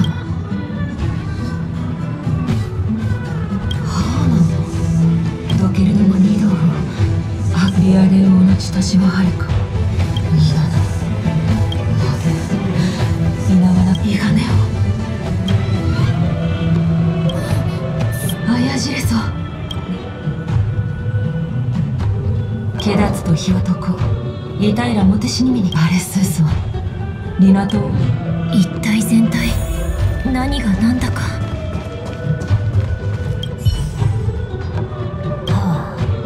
冇有，冇有話到啊，天數東卡卡，多一個嘞。誰だと？誰だただば？這個誰だと？誰だだらば？ののがいののがい他にまにか。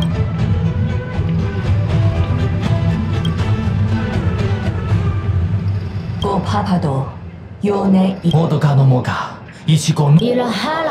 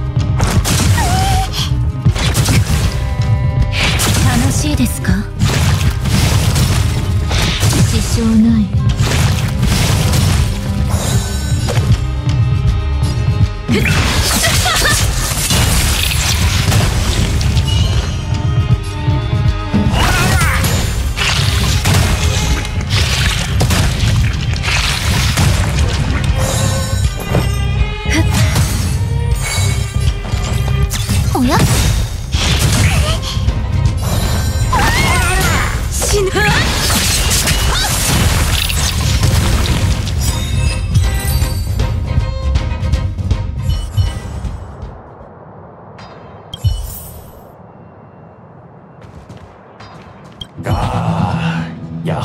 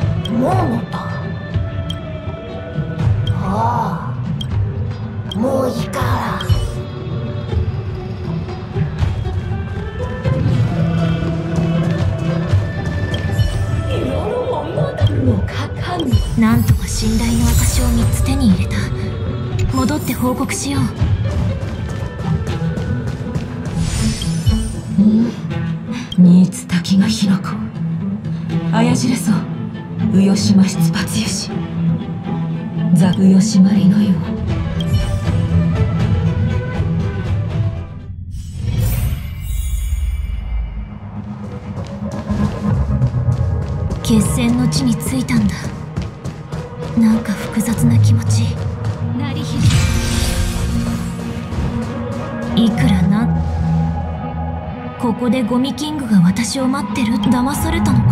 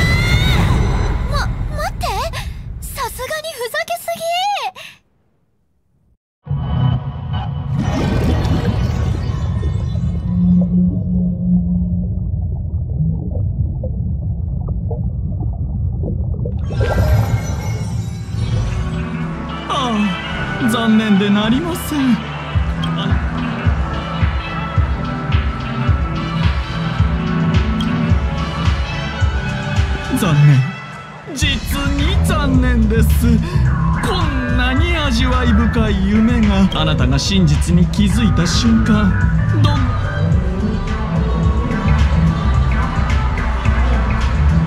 隠された意味？あなたは美しい夢の真実を探していたのではありませんか？美しい景色にこの夢の泡は今のピノコニーに似ていると思いませんか？何を企んでいるかわからない人々が狭い舞台に閉じ込められ誰もスポット無境の家のバスタブではなく予測不可能な変化をする深海です。最初から変わっていない。本当にあの少女はまだ口ではピノコニーが地元だと言っておきながら細かいことは何も知らない。忠告ですよ。何か聞きたいとそれでは僕はこれでサンポ一体どういうつもりなんだろう。ホタルが何か隠してるっていうの。蛍に話を聞くためにもまずは彼女を探さないと。まだ遠く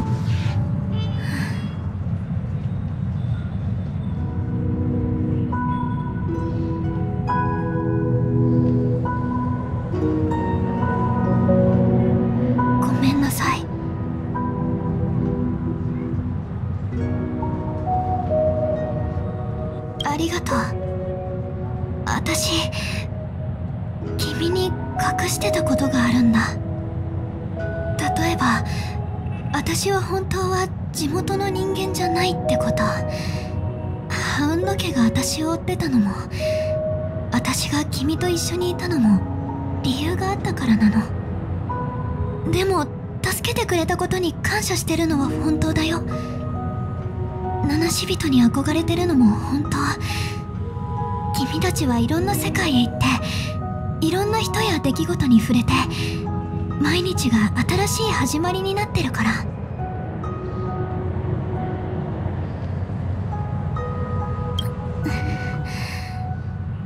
もう一箇所君を連れて行きたい場所があるんだけどいいかな？今回は観光スポットじゃなくてむしろ逆というか私の秘密のアジトみたいなところなの。そこで私が知ってることをできる限り君に教える。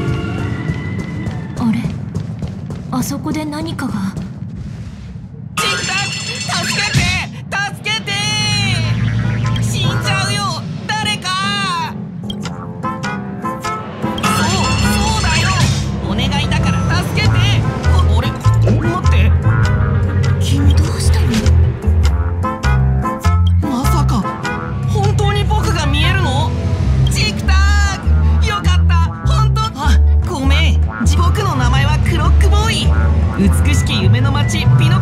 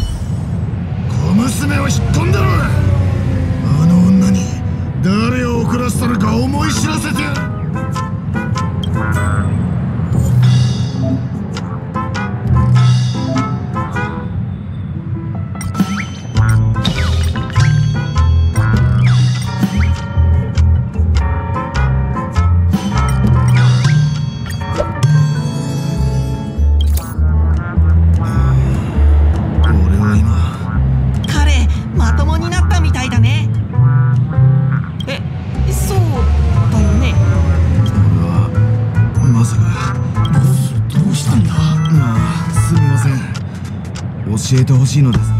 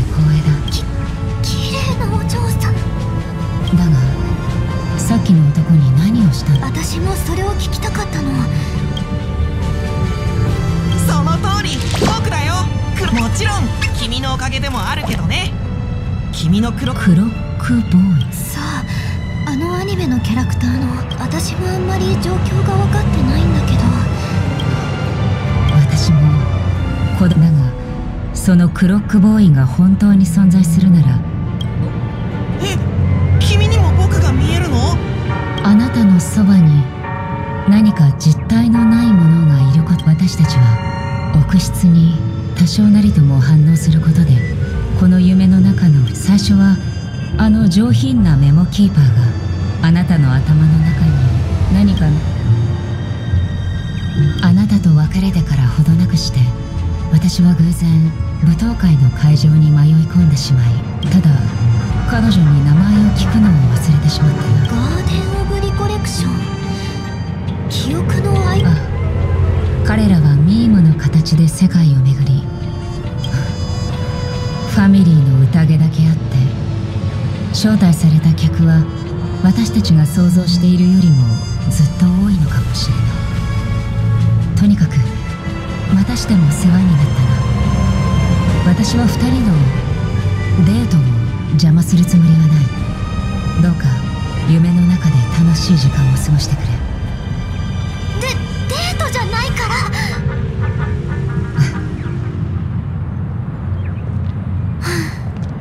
っちゃったじゃあ私たちも。こっちはもう大丈夫だから。君たちも好きなところに行くといいよ。本当に。ありがとうございました。また会おう。ジクタついてきて。今度は見えない友達に捕まらないようにね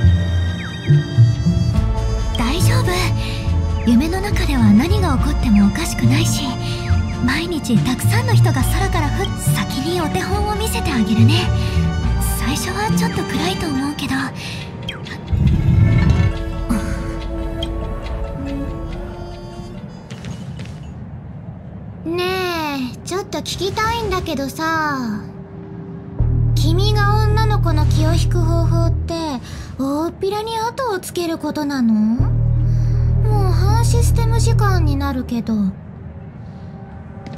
正確には45分だね。楽しい時間はいつもあっという間に過ぎるもの。そうだろ？クジャクちゃん君の目って綺麗だよね。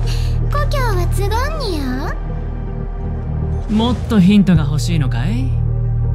例えば僕がエビキン人とか。うん。花火の目は君ほど鮮やかじゃないけど曇ってるわけでもないよ。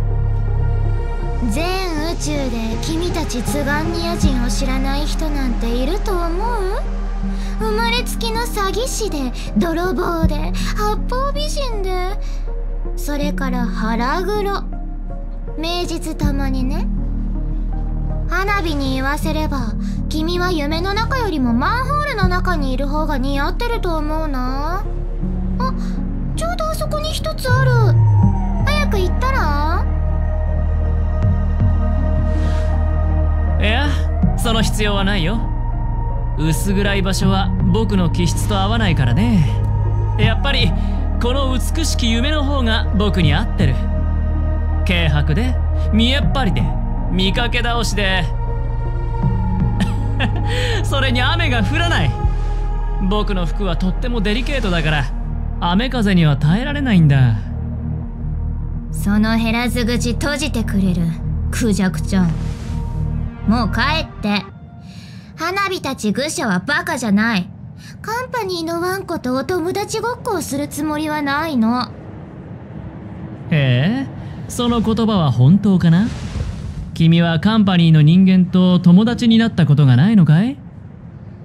花火がピノコニーの歴史を知らないとでも思ってるわけ？君たちのくだらない社内政治に花火を巻き込まないで。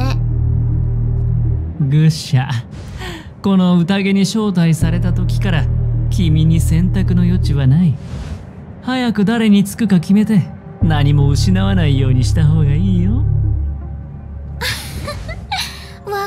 ようなこと言うんだね。あのファミリーの手番を自分の側に引き入れたみたいな口ぶりだけど。ねえ何したの？クジャクちゃん。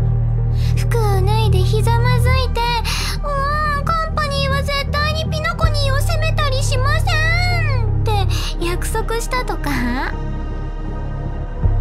君もう諦めたら？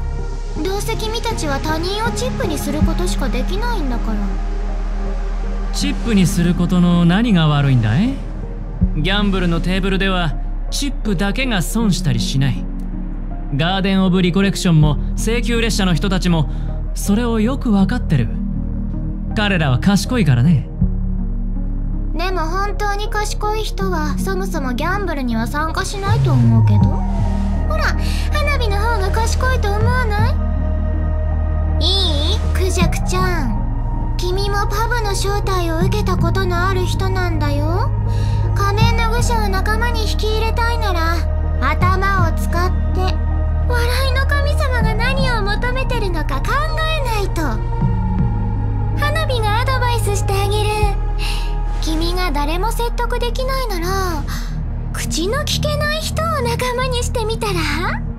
少なくともそういう人なら君に反論しないんじゃないかな？じゃあね。ありがとう。口の聞けない人を仲間にする。肝に銘じておくよ。ふん。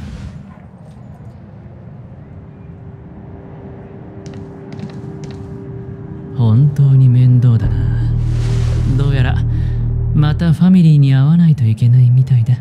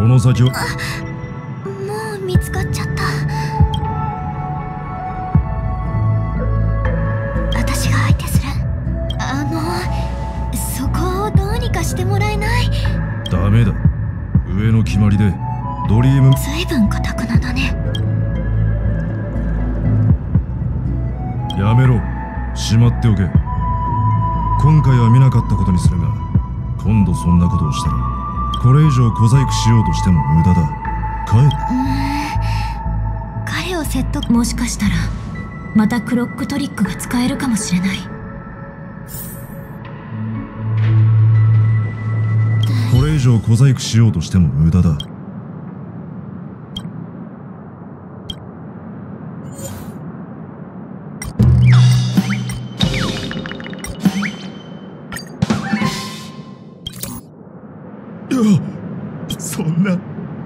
なんてことだ。俺は今感じるか？この感覚。少しクレイジーと言ってもいいくらいの感覚だ。初代スラードミアがここにいたら一緒に歌えたのに。彼のあもうこの熱い気持ちを抑えることができない。うつそれは実に残念。この熱い感覚そして高鳴るハートさえあれもちろんそれでもお前たちを通すわけに。彼は本当に。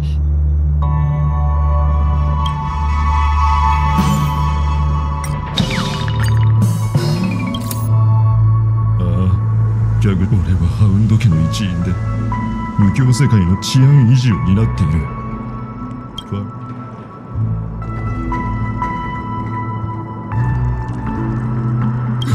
すまない。とにかくお前たちはこの美しい無教世界を心。だが俺の尊厳はもうほもちろんお前たちは強行突破を選ぶこともできる。そうなったら俺は命を懸けて戦うと誓う。なんかものす何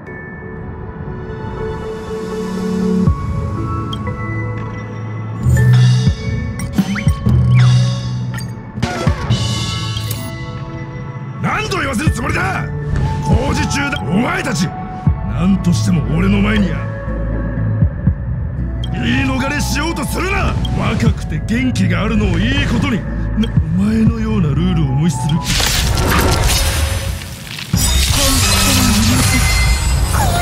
逃げんな。研究の価値あり。はっ。敵データ収集完捕獲マーク起動。愉快な反撃の時間です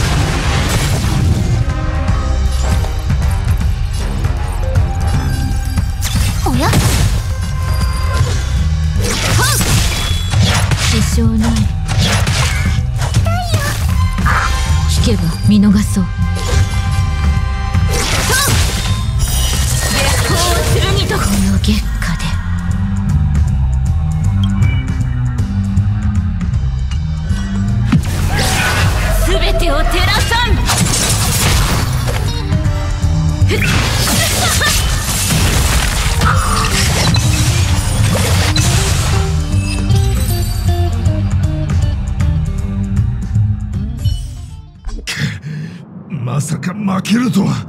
もしあの時の俺にも。こさっさと行け。ようやく通れるようになったのはいいけど最終的にこうやって入れるなんて。クロックトリックって不思議だね。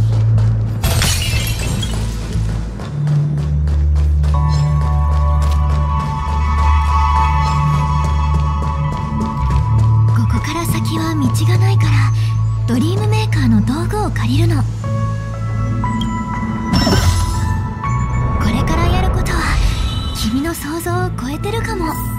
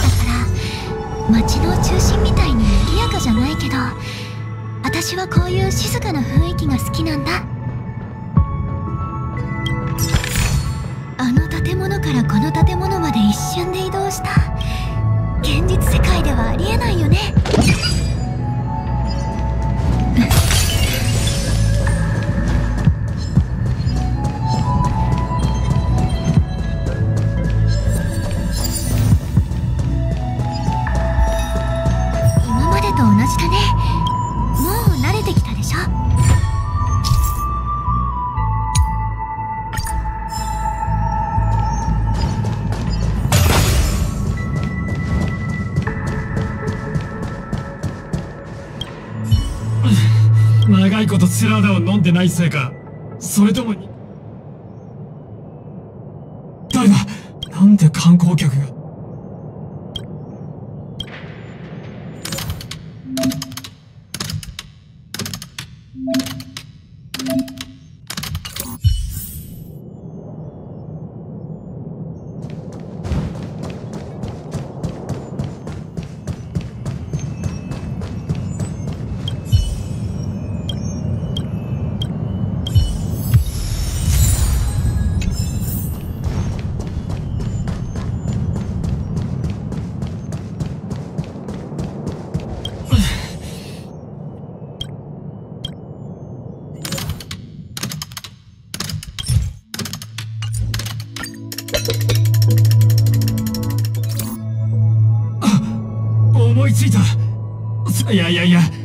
寝て目を覚ました頃には。考え事しながら言っちゃっ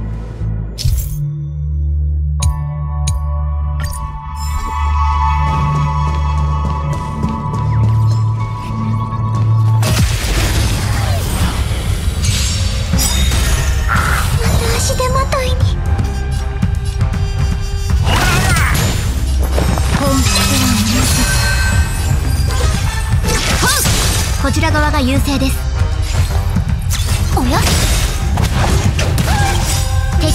敵データ収支捕獲マーク起動。愉快な反撃の時間です。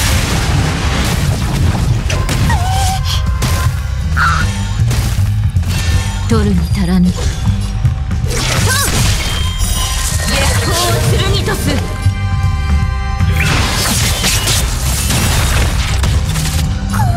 逃げんな敵ターゲットを確認。まだ立ち上がりますか？生命は呼吸。は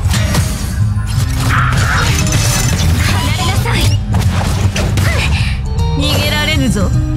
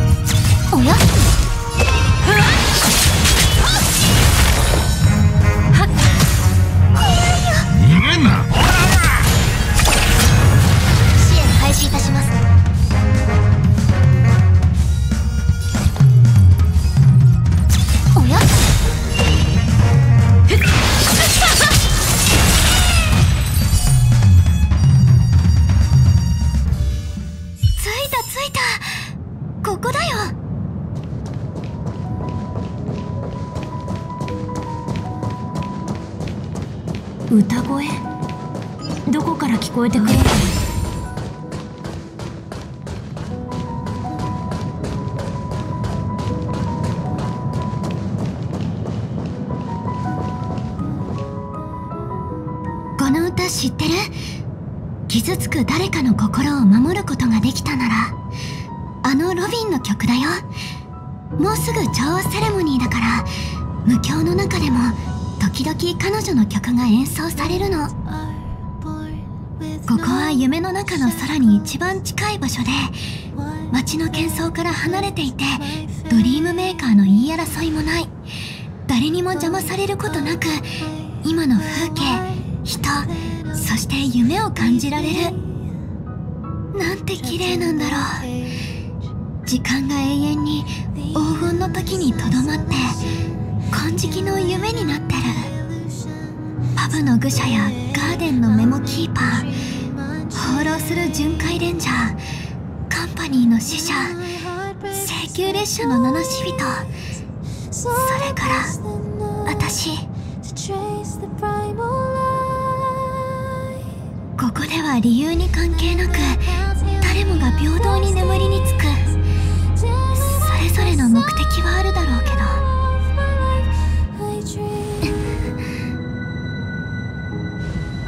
ごめんなさい。本当は私は密航者なの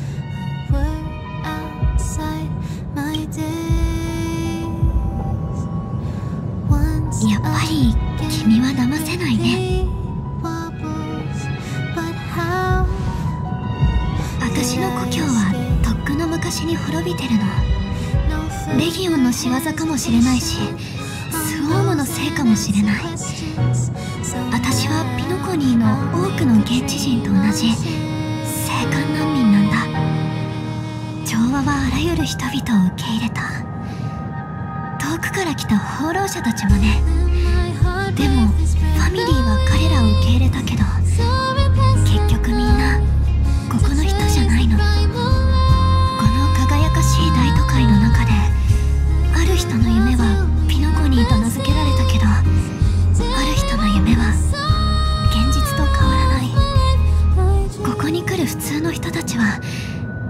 最初は同じ目的を抱いてるのに。私もそうなの。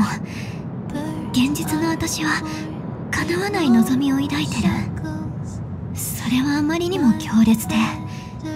だから無境に訴えることにした。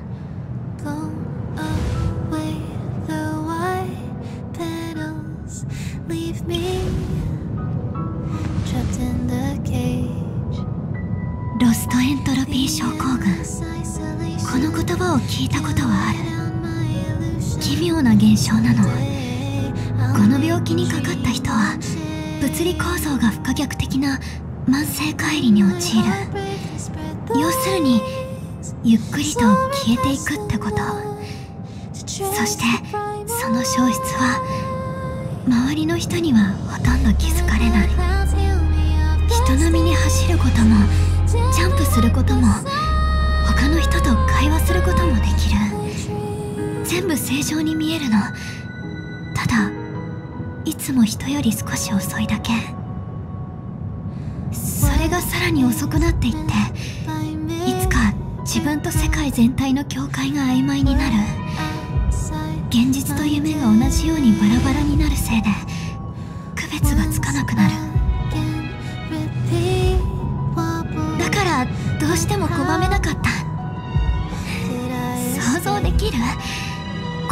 の中では私冷たい医療カプセルの中にいなくてもいいんだよ。医者の言葉を忘れて自分の体で好きなものを聞いて見て触って考えて感じられる。この世界は真実じゃないけどこの感覚は何よりも大切なの。今この瞬間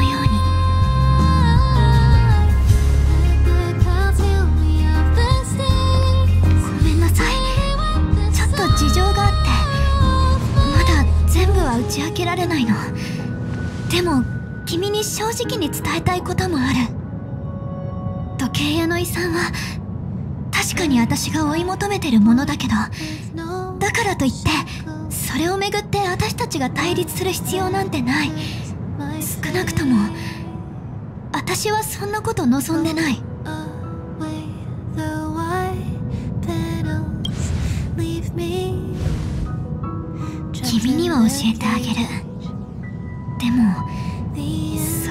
今じゃない。焦土の夢を見た。一本の新芽が土を突き破り朝日に向かって咲き誇る。そして私にささやくの。招待状の質問を覚えてる？生命体はなぜ眠るのか地では全てが許されあらゆる可能性がある。振り返りたくない過去は泡のように消えて向き合いたくない明日は永遠に訪れない。人々はなぜ眠ることを選んだのか。私はね夢から覚めるのが怖いからだと思うなんだか重苦しい雰囲気になっちゃったね。ごめんなさい。こんなはずじゃなかったんだけど。うーん。どうすれば空気を変えられるかな。そうだ。君は列車に友達がたくさんいるんだよね。こういう状況になった時っていつもどうしてるの？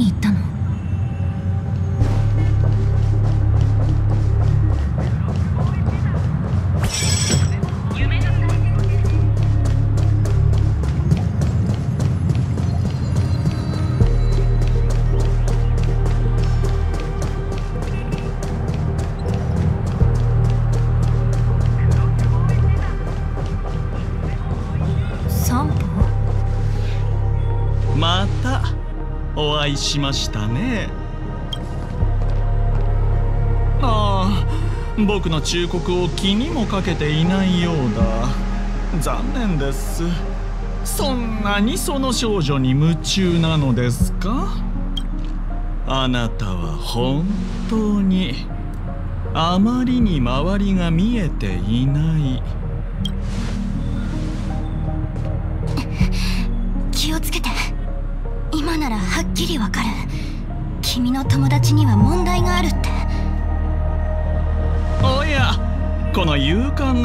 さんはあなたを守りたいようですね。なぜでしょう？あなたたち。そんなに親密な関係でしたっけ？ふざけないで。あなたの性格とっても好きですよお嬢さん。そこの足毛と違ってあなたの鼻が利くことも認めましょう。それでもあなたは集団に遅れをとっている。この状況になってもまだ気づいていないのですから。ファミリーが隠した。この美しい夢の裏に隠された秘密に。そして氷雪の世界を救った開拓者。あー散歩のやつ。ヤリーロ6の物語を一体どれだけ誇張したの？ま彼の話を信じちゃった方が悪いか。本当に。本当に足毛ちゃんには失望したよ。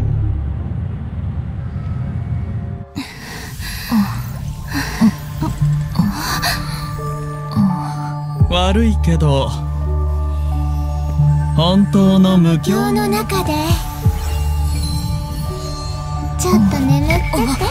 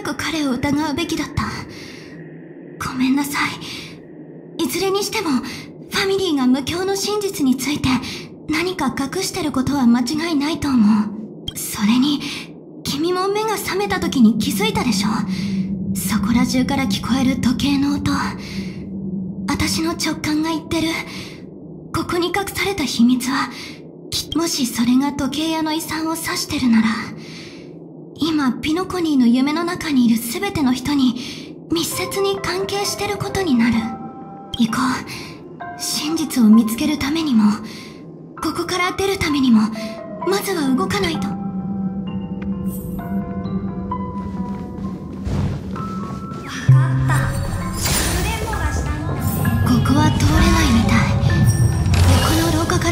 今。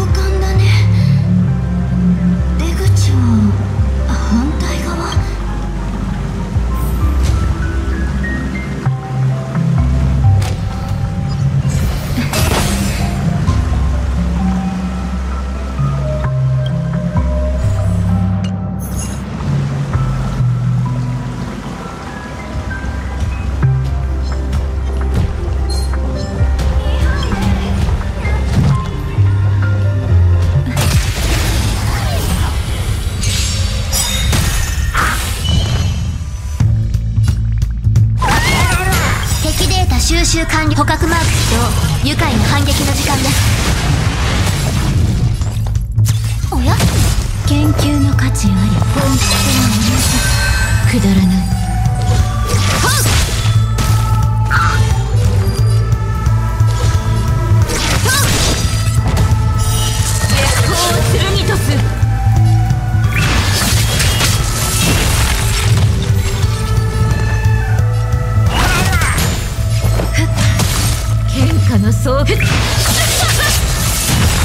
ちら側が優勢まだ立ち上がりますか？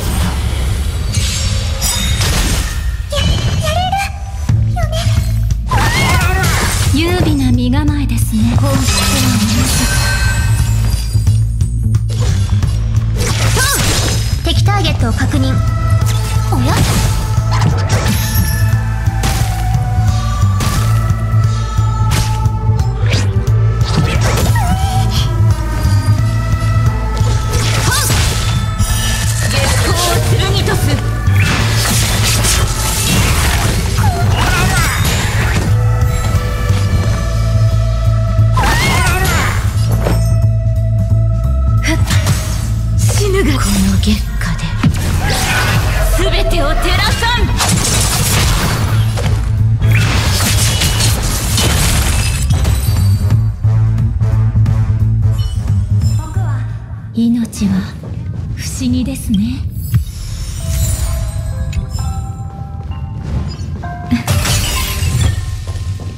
これでパズルって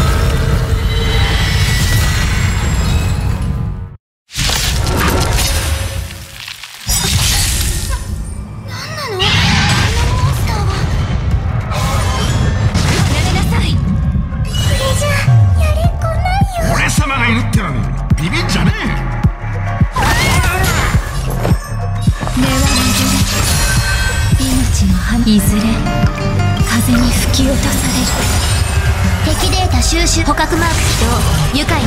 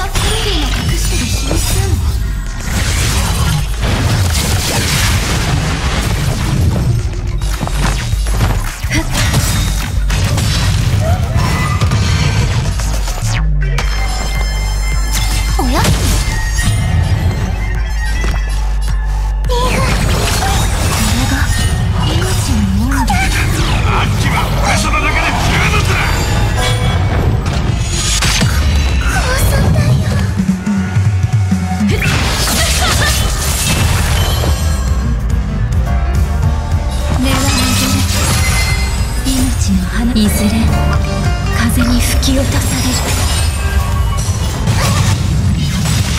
敵データ収支捕獲マーク起動。愉快な反撃の時間です。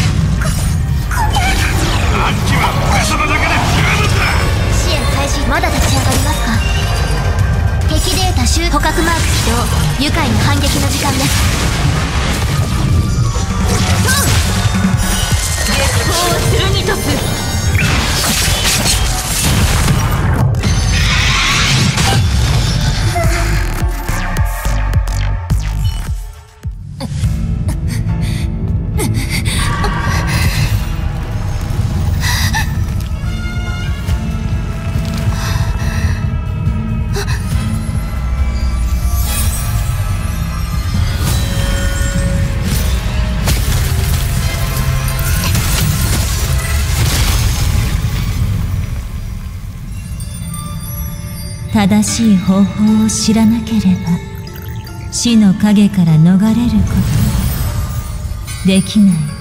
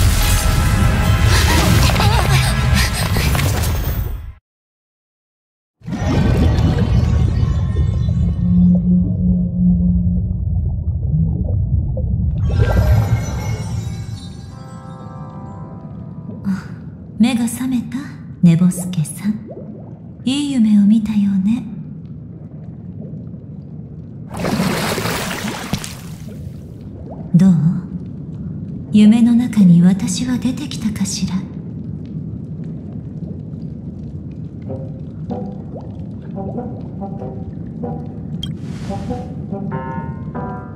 私はただあなたたちを記憶域から出してあげただけよ。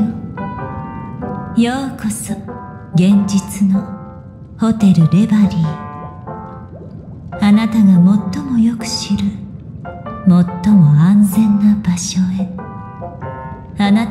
神状態が正常でよかった。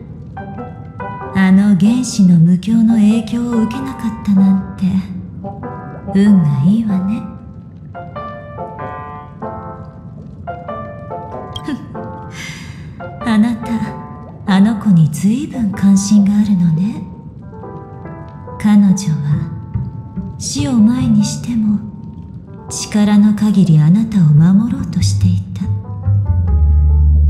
私ですら少し感動してしまうくらいだったわ。